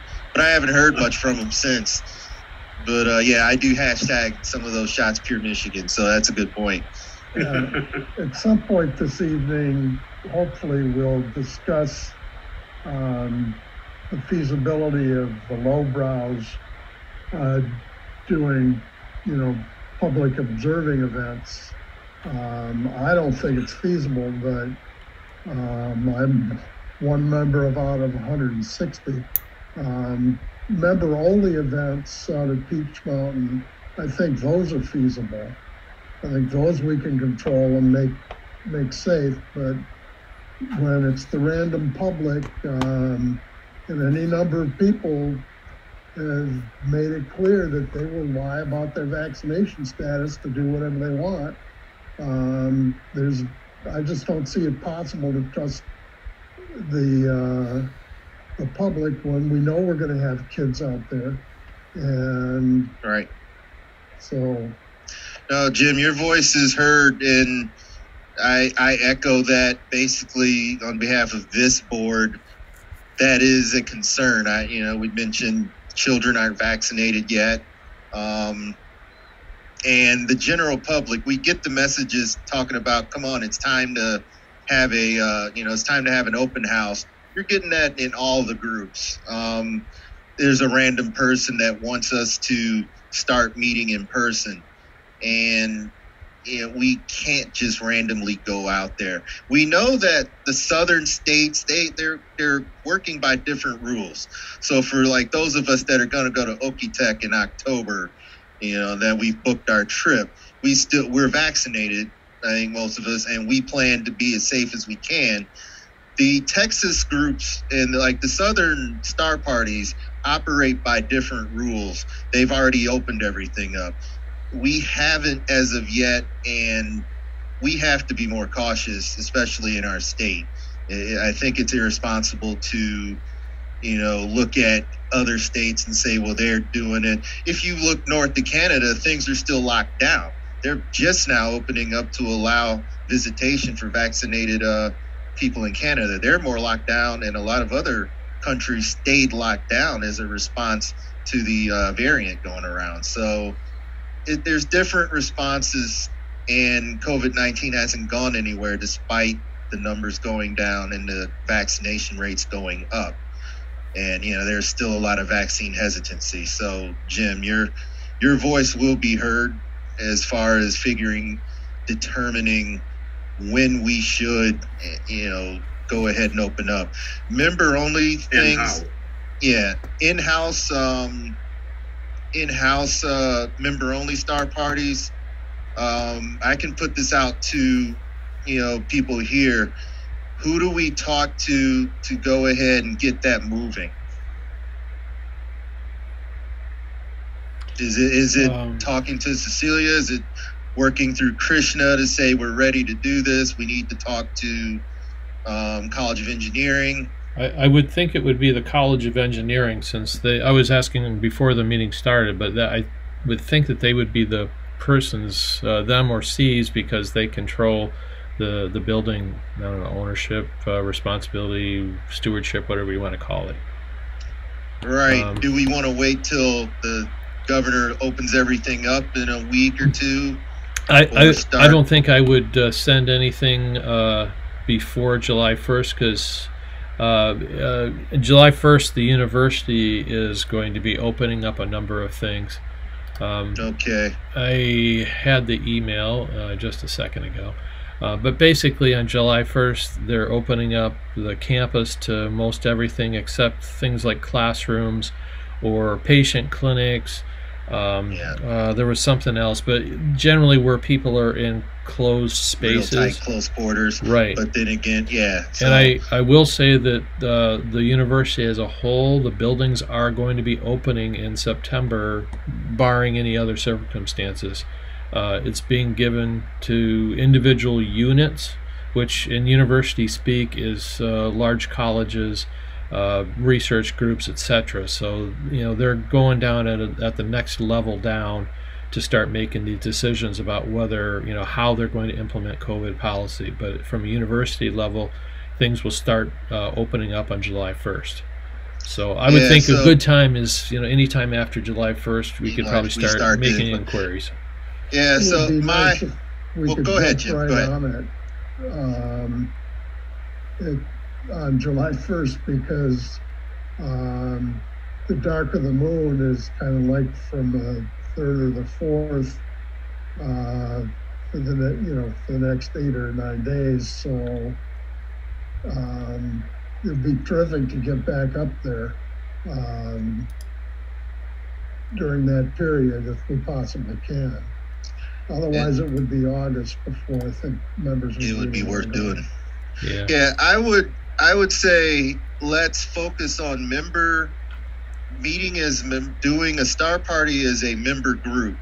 Let's work on keeping in house, and then pending the success of that, our next step would be to start talking about bringing the general public in, and if you know if we see ways of doing that, but maybe not worry about the general public until we've had our own member only star party and just kind of take it in steps. That that may we basically become our own model for how we might be able to safely reintroduce night sky viewing with stuff. So, yeah, after July 1st, um, you know, maybe we uh, we talk to Krishna, Jeff, you know, maybe we the community our, our team works to get something out to the College of Engineering and just proposes that we're ready to have a you know now that things are opened up we're ready to do a member night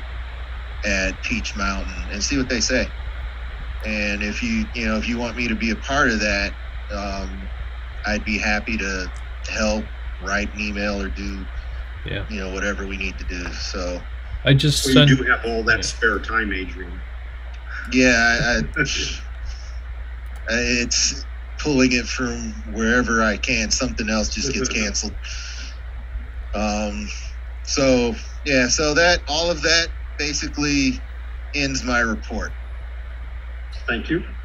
I just put in the Amy. chat um, the uh, uh, text from President Schlissel's message uh, for that was pertinent to our situation. So if people want to read that over.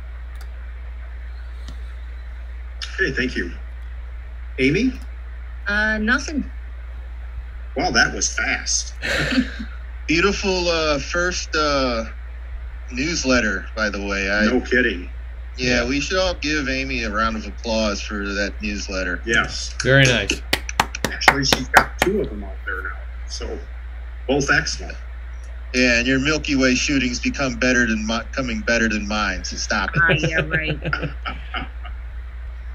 Okay, how about Jeff? Uh, tonight we had uh, 28 max on Zoom and 6 on uh, YouTube for a total of 34 uh, present.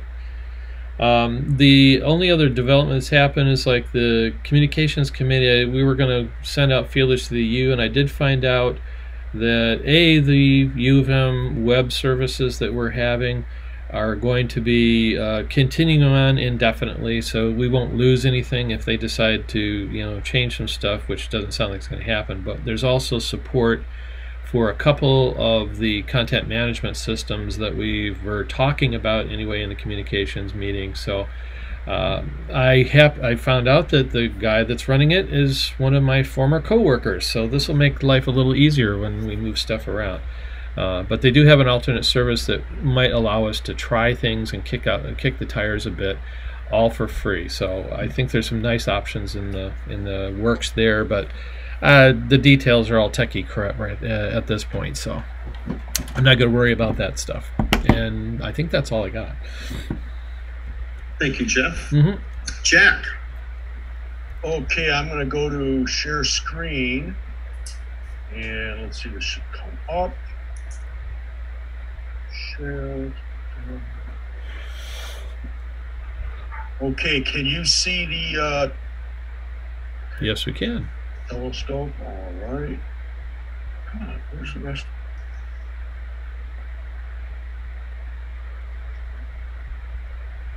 That is the cave eight inch, isn't it? Yeah, there we go. Okay, that's what I was trying to get up. Okay, now to start off, this is the Cave, cave 8 inch F7. And we did have a group, uh, meet myself, Don Foy, and uh, David Jorgensen. We did go out and uh, fix the uh, Telrad. We put a new a, uh, battery holder in there. The old one was corroded and rusted out. Uh, now, we also did go in and put the new focuser in that we got. Uh, that uh, Don Foy had bought. And we slipped that in there and got everything set up in the scope. So this is, as they say, good to go.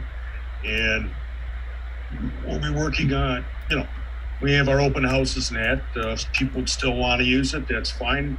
Uh, Don did check out the Bluetooth and the tracking on it. That seemed that still works. So it's a nice little scope you could take out there and do something. So that was taken care of and we're going to move on to the next one. Um, some of you are familiar with this, some of you aren't. This is the Argo Navis on the side of the um, McMath mounting, and this has been a problem. This RTC battery flat means you lose your date and time. So when you go to set this up, and set your tracking and you lose your date and time and everything, uh, screwed. So uh, we've been working on this. We actually went in and uh, tore this out of the building, took it over to Don's house. As you can see, we uh, took the back of the piece off here.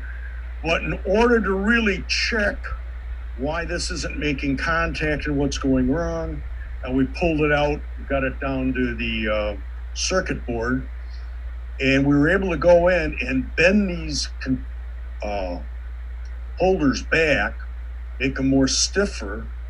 And we also noticed on the bottom here that there was no damage to the circuit board or anything. So we put everything back in place and I brought it back out to the observatory, got it up and running here. Some of you are familiar with the setting and understanding the layout. So turned on the uh, Argo Navis, SkyFi, set everything up to work because we haven't used this in over a year. I mean, I've, I've went out and turned it on just to make sure it works. But when we had these couple failures, that's when we decided uh, took a more important look at it. So we got this set up now. This is important. I know some of you will understand this. I'm going to explain this.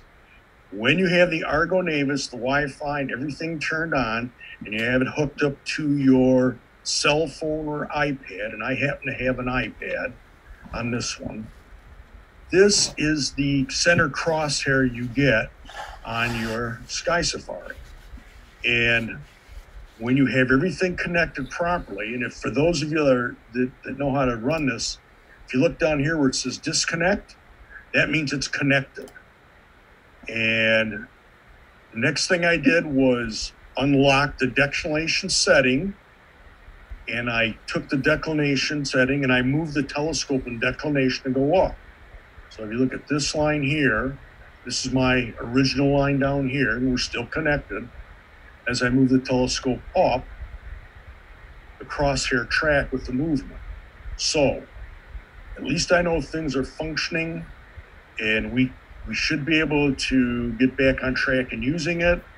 But you really won't know that until we go out and actually line up the scope and set it up on a couple of stars and go through a regular line uh, alignment, then do some star hopping, object hopping, some galaxy clusters see how well the telescope is working in that. So we've got that part taken care of, and we're going to work on that. Now, this is some discussion we had on the uh, observatory. Now, we've got the radio tel- radio observatory building out there. When you go up to the radio telescope building, there's a small building on the left. This is the small building on the left. Now, some of you might recognize this little uh, cylinder or top here. This is Starlink. And the Starlink originally was in this circular top but it got too hot, so they moved it out. And this is the Starlink now in opening. So, right now, the radio observatory up there is using Starlink. Now, they're not hooking up to a cable system or they're hooking up to this AT&T tower system. I still haven't gotten word on the AT&T tower. And I talked to Professor Cutler. He was out there and he said what they've done. So they're going with the Starlink. They bought in, they've got the system there. They've got a little bandwidth projector that projects uh, part of this over to the radio observatory. So this is all one piece here with the Starlink on top. They've got a couple security cameras on the sides of that. And here is the back of the building, and the reason they're tearing everything out of the back of the building is they have a group in there, construction company going in, ripping out all the molded uh, chalkboard and everything. They're cleaning it out completely. They have a water system and pump in the back. Some of you saw this when we were up there last year. We did a tour. Um, and took some pictures. That's all being cleaned out and uh, the windows are being repaired and everything. He's got a couple more security cameras on the outside. and they're going to refix the fence and everything. They're doing a lot of work up there. And as you can see, this is the radio observatory in the other uh, building in the back. All this trees and shrubs are all been cleared. You can see down the side, this area has been cleared out. You can see down through here and back and on the other side. And this has to do with the security cameras they're putting in. And they've got a group in there, it will be out next week, uh, fixing up the fences and restructuring probably with concertina wire like they used to do that. It's all part of the security procedures. Went up there and I talked to Professor Cutler again about this. And he says the universe is in line with doing this. We're getting, he's getting it taken care of. Now, here's the big question. While I was up there, I talked to him about this whole thing with COVID 19. And I asked him what he was doing up here, what was going to happen with the opening, reopening, and things of this nature. Starting in September, for right now, he's planning on having a spacecraft design class in the Radio Observatory building, which means he's doing this to facilitate this as an educational facility. That's why I brought in the Starlink to use with the facility to show what types of equipment they need to continue and do this. Now, my question to him was okay, if, you, if you're going to run a class up here in September, uh, what's the possibility of us, University Lowbrows, reopening the math, math observatory and having public open houses? I discussed this with him, and he said, based on U of M guidelines, what happens after July 1st, and the fact that he will be conducting classes out there, he thought it, it should be feasible we could have public open houses in September. Now, he's not the person that guarantees this. U of M first guarantees it and then sets up the guidelines. But the fact they're allowing him to have a class out there, which means they're going to have to have some type of a student transportation out there for the students and stuff like that. And they've got to look at that whole area differently and uh, look at it more, uh, opening it up more to uh, university guidelines. Therefore, in September, yeah, it's a good possibility we could be holding open houses there. So that is what has been going on out at Radio Observatory. They're doing a lot of this grounds and maintenance work because they do want to get the security system up and hold the classes out there, which means once they start holding classes out there, uh, some of you probably understand this. This now redirects funding and uh, reusing this radio observatory now more for educational purposes and academic purposes, which means uh, the next question is we want to get back into some type of academic research. Now, I know some of you are familiar with the radio telescope here. I know some of you understand the tracking.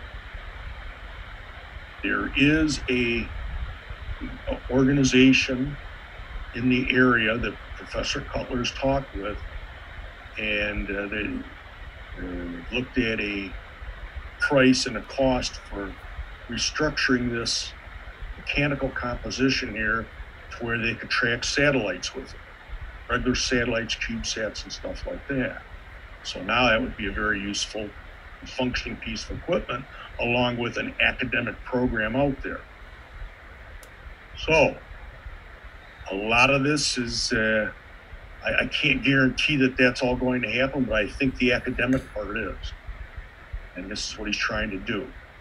So he's setting this up based on uh, U of M guidelines, academic policy, things like that, and follow, following that to get this back as a functioning radio observatory. That's about it I've got. Any questions? It's great that they're doing stuff out there and they're actually putting some effort and, and dollars into those facilities. It's been yeah. what eight, nine years now? Yeah, and the other argument is all the vandalism that's going on there. Once they start getting academic classes up there and groups going up there all the time, uh, the vandals will probably disappear, hopefully. And, Well, and if uh, not, they're gonna get caught on camera now. Yeah, that's true. Yeah. Uh, oh, by the way, just so we do know, uh, he does have cameras here on the side of the buildings. There is a outdoor lighting here, so he can run those cameras at night if anybody wants to walk up there, try and break in, hump the fence and that. But we did discuss it, and if we, we have public open houses here on the area and observing, uh, we can shut that light off. I'm not sure how bright that light is because I know it shines downward so he can see people on the fences and the grounds coming into it. It's not something that shines up in the sky. But uh, he did mention we could turn that off during an observing session there. Yeah, So- it it is it is really uh, really key that there's classes going on because that's an educational mission of the university, and the funding channels are much different than if he's strictly a researcher. So he, he may he may have done that on purpose too, simply to get some funding for the projects uh, from that educational tap. But it means that it's more mainstream than just the researchy stuff, which is great news for us. So That my question, yeah, my question, Jack, is the Starlink that's there and access. Would we be? Is has it been asked if we would be given access to that? Um, you know, some for anything that we may want to do in the McMath or broadcast from the McMath. Okay, the Starlink has about uh, 30 megs download, another 10 or 20 upload. It does not have that uh, high bandwidth and resolution that we talked about. Now, I really don't know. I, well, I should, well, from, okay. My personal working on this bandwidth with other organizations and stuff, us trying to hook up and use that, I don't think the bandwidth is there. To be honest with you, when you think about it, because we were Yeah. they were looking at bringing in a one gigabyte fiber line into that area. That's not going to happen. That AT&T tower might have been a good thing. Uh, the other thing is because of where the observatory is located downhill, um, signaling and reception isn't as good as the uh, uh, Starlink here, sitting on the higher ground up away from the observatory. So, uh, I know from personal use when I tried to uh, use it uh, through my car with the uh, add-on from AT&T, I had too many bandwidth problems. You know, I, Yes, things I would come in good, then all of a sudden, poof, things would disappear. I'd get fracturing and splintering of the screens and everything else. So, Yep, I remember that. Now it's ironic. That's the Starlink system. That's being that's what the satellite trains are about that we complain about seeing through the uh, night sky. That is the very unit that we're you know, we're sort of vehemently opposed. There's still discussions in the astronomy communities about Sure what can be done about the actual satellites that are providing the internet that that Starlink system is using. So, kind of ironic that there will be a there will be a Starlink system out there, and we're going to be back to observing out there in the near future. Now, Starlink, four hundred ninety nine dollars for the receiver, ninety nine dollars a month. Now, let's say you were to go out and buy a unit and you lived out in that area, and after you had it four or five months, you just didn't get good reception with it, didn't like it. Okay, you cancel your subscription. You don't pay ninety nine a month, but you're stuck with that four hundred ninety nine dollar receipt. you don't give it back. You don't get your money back on it. Now, other thing going on out there that is something else I've been kind of paying attention to. Some of you may know this too, by the way. Washtenaw County Broadband Committee has been meeting and working with state and federal resources and money to enhance um, the uh, broadband connections, Wi-Fi connections, bring out the internet more openly to the rest of the Washtenaw County area. Like, yeah, it's good downtown certain cities, but the surrounding areas is not that good. So, yeah, in the next couple years, they may come up with a real good plan, or the next year or two. As far as for us as a Wi-Fi for the observatory, from what people want to do uh, about uh, running Zoom meetings and doing the astrophotography at night kind of programs and stuff like that. I don't think it's going to work out that well there. And I think we ought to see how well the Starlink works for the university because I got a feeling that is going to be, um, how would I say, probably the minimal for them. Uh, it's not going to deliver the maximum that they want. I can tell you that right now.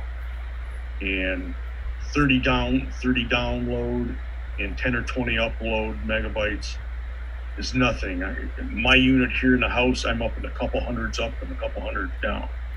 But then again, I've got a hard line from Comcast coming into the house, so big difference. And I know other people have the same thing in their house. And I know some people, depending where you live at, uh, they can pay for that one gigabyte line to their house if they want. But uh, so my opinion on Wi-Fi, I'm gonna hold off on that for another year. I don't see us doing nothing. And then the other thing is working with Professor Cutler, looking at the spots he gets from his Wi-Fi, how well it works out there. If at a later date they, sell these, there's certain. I know some of you are familiar with it. They have certain types of Wi-Fi amplifiers that they're building now to increase up, uh, down and upload and everything, uh, the megabytes you can get out of them. Uh, it sounds good. I know they hook up and run off your router and speed up everything. I don't know how well they work with a Starlink. So I think the best thing for us is I'm going to continue pay attention, talk with Professor Cutler at times on how well this is working. Maybe there's something we could test on it with them later once they get it up and running for the classrooms and they see how well it works. We get a better idea of how well that unit functions out there. Now, for us to get it to work because we're down off the hill and our we may have to come up with some type of taller antenna that picks up the signal. I know we discussed that in the past, so um, I guess we'll take a wait and see attitude how well this works for Professor Cutler out there for his classes and stuff he's going to be doing out there. Any more questions? I'm good. Okay. Oh, Okay, one other thank you, one, Jack. one thing I was going to ask Adrian Bradley. Adrian, are you a member of an RASC center or just an out uh, outstate member, they call it? I uh, I picked the Sarnia Center as my uh, center. Okay. I belong to the London Center. Okay. I belonged to it for way back when. I know some Uh, I, I wasn't sure which one. I thought of the Blue Water Bridge, and I said Sarnia.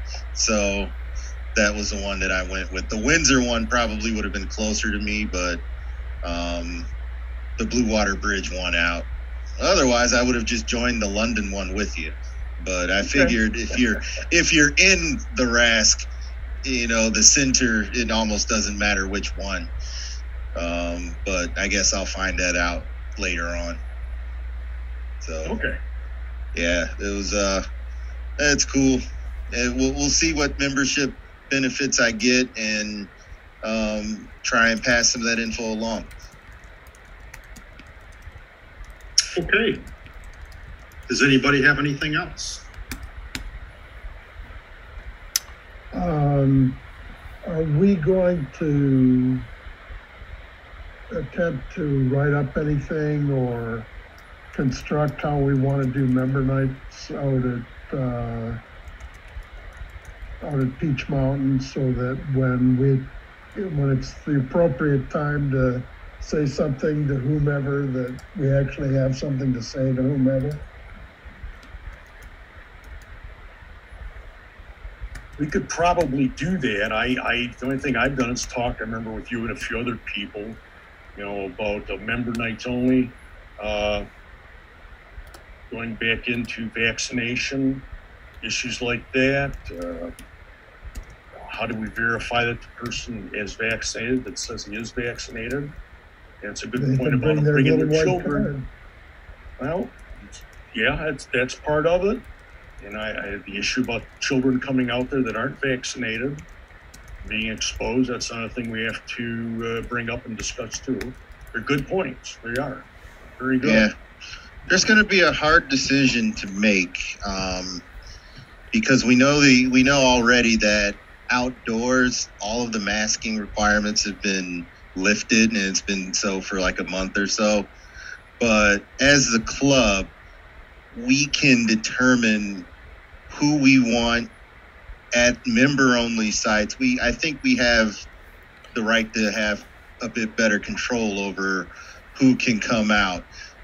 It would be a problem to tell members, sorry, you can't bring your kids unless they're 12 or older at this time. It, may be a sticking point, but you know, it may be something that we need to consider. Um, so that's I don't I don't know if further discussion is going to help.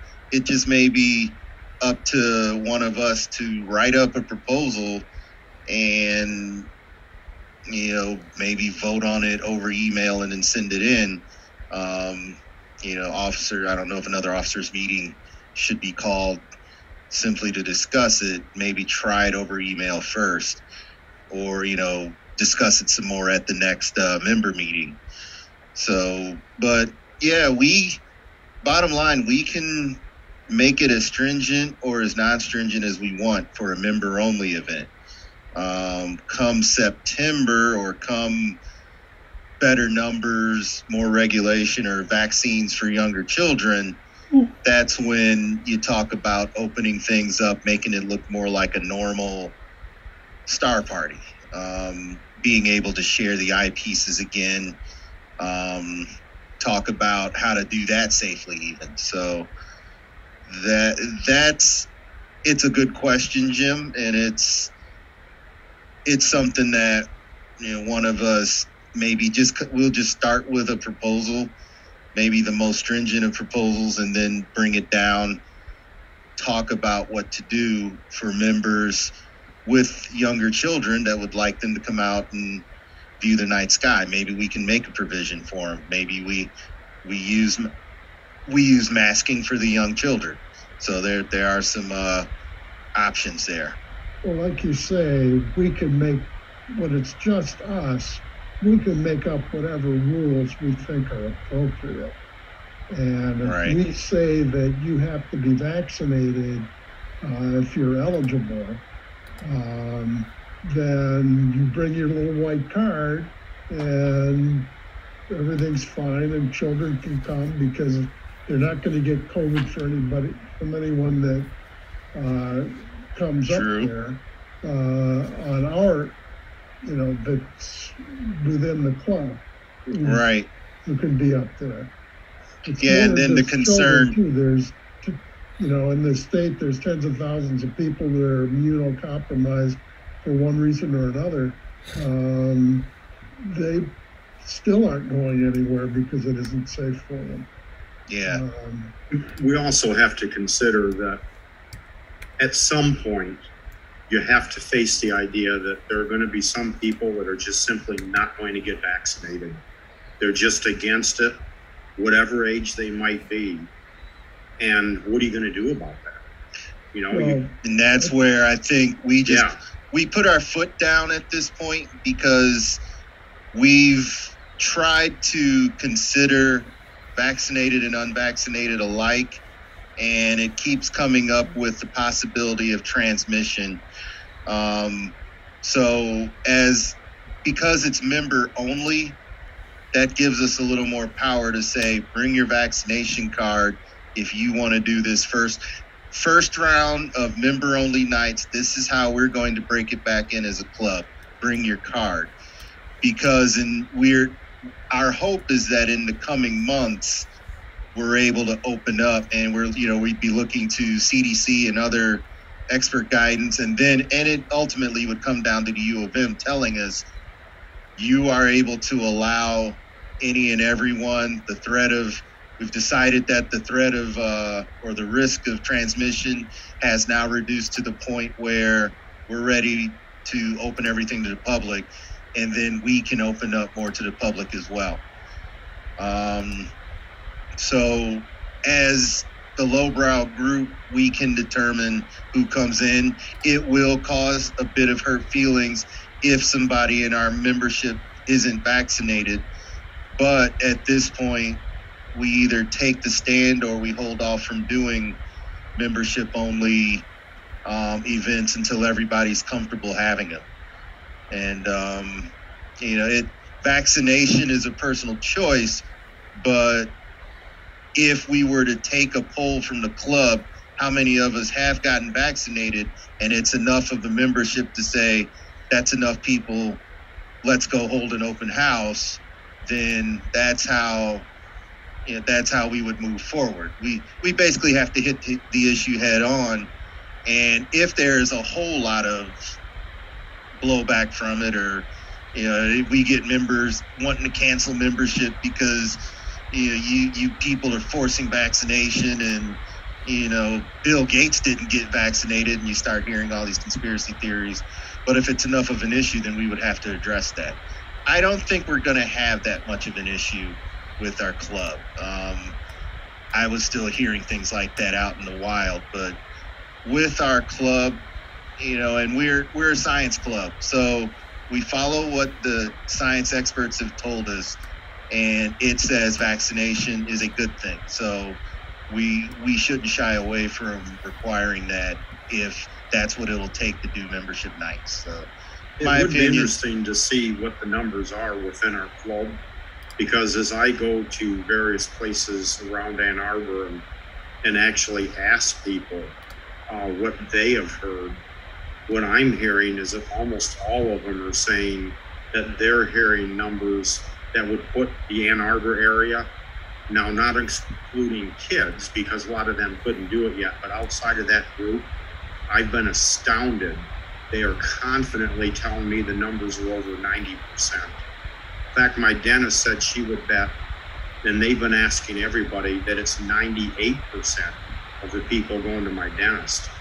So that perhaps is encouraging, being that most of us are from the general area in the last couple of weeks, I've had tradespeople into the to the house. Neither one of them has been vaccinated. Really, from this area too? From this area, an electrician and uh, an arborist, and, and so there's plenty of unvaccinated people out there now. You know where the electrician actually lives. That's I have no idea Right. The arborist is located in Novi or someplace like that. So it, you know, whenever you invite people, we get people from all over Southeast Michigan to um, to our open houses. At least we have in the past. Uh, you know, people, you know, drive 40, 50 miles or more to, you know, for the opportunity. You know, it's like a, you know, once a year or once every several years thing, but we get a steady stream of those people, and there's no way for us to know um, um, what they think about vaccinations. And that's why I'm reluctant about open houses. There's other reasons, you know, because of the variants going around, but um, but that's that's another discussion. But the member nights, I've I felt confident for a year that we could do it, but I just you know now that people are vaccinated, and I think it's highly likely that the great majority of the club members are vaccinated, that, you know, we ought to be pushing on this is, you know, so we can create safe observing opportunities for our members and their and their families. Yeah.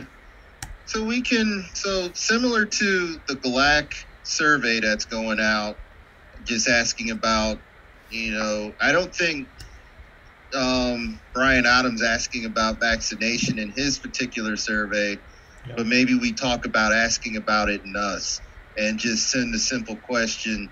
If we made our member only nights a vaccinated only event to ensure the safety of everyone, would you attend? There you and ask That's for an good honest idea. answer Yeah. from the membership. I can put, I'll put it as a to do and it, it can go into minutes so that I don't forget because um, I will put together that question and It's a we'll send it out to the idea. membership. Yeah. Let's do that and let's see what we got. Yeah, we'll give us a measurement.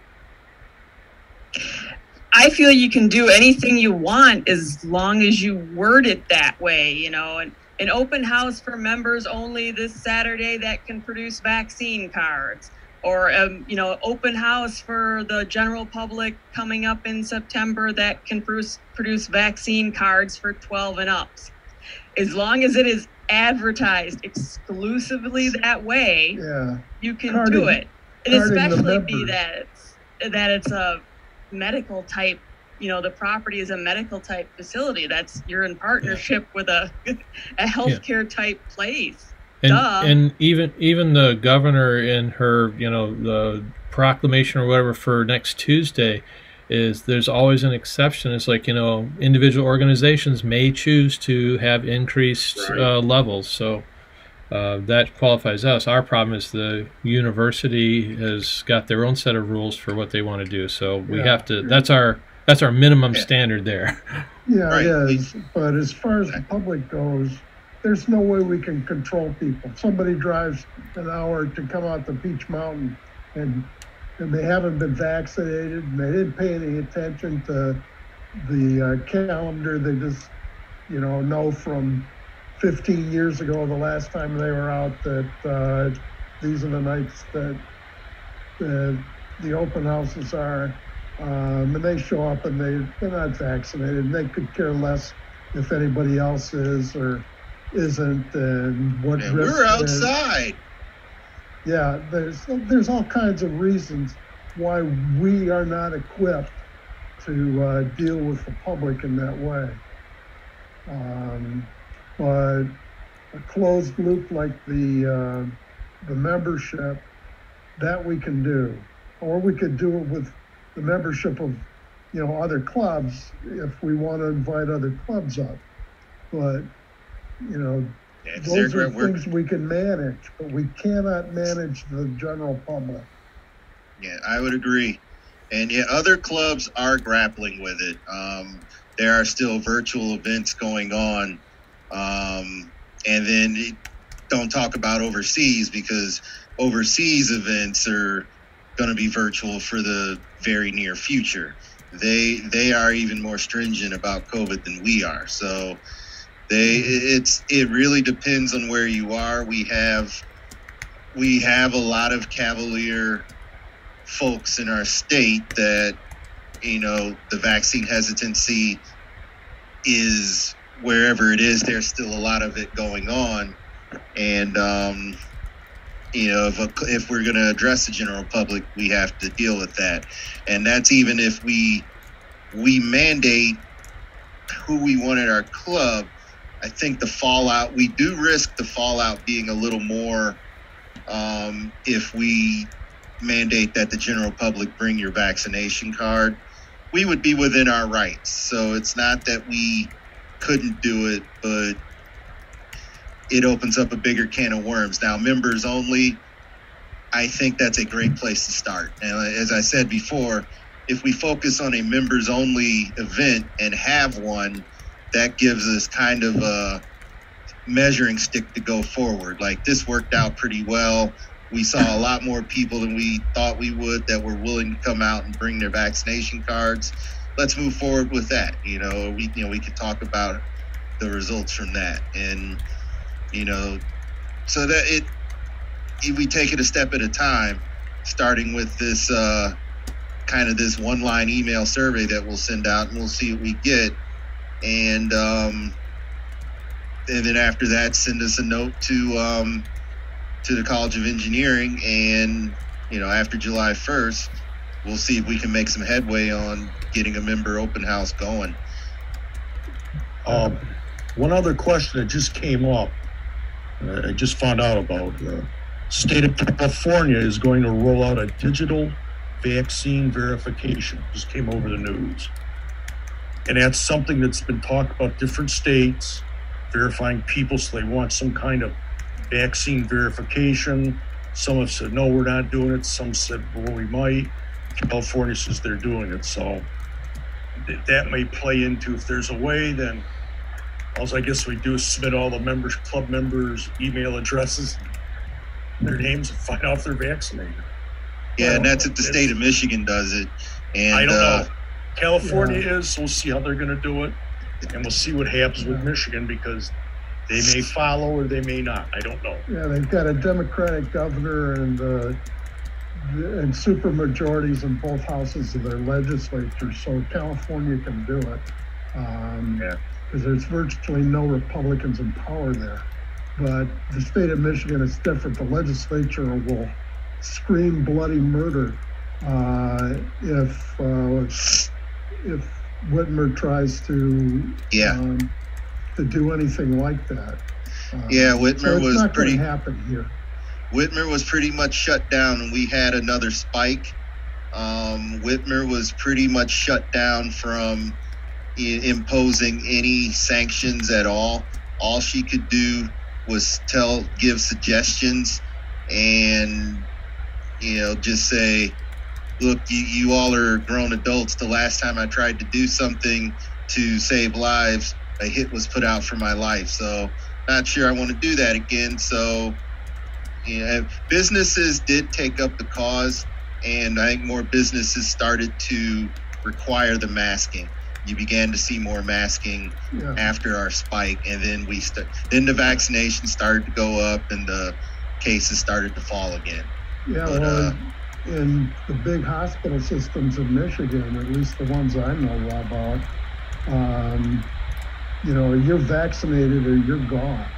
And, Yeah. know, if you're an employee, Uh, yeah, doctors have started. My doctor said that they now require you to be vaccinated to work for them.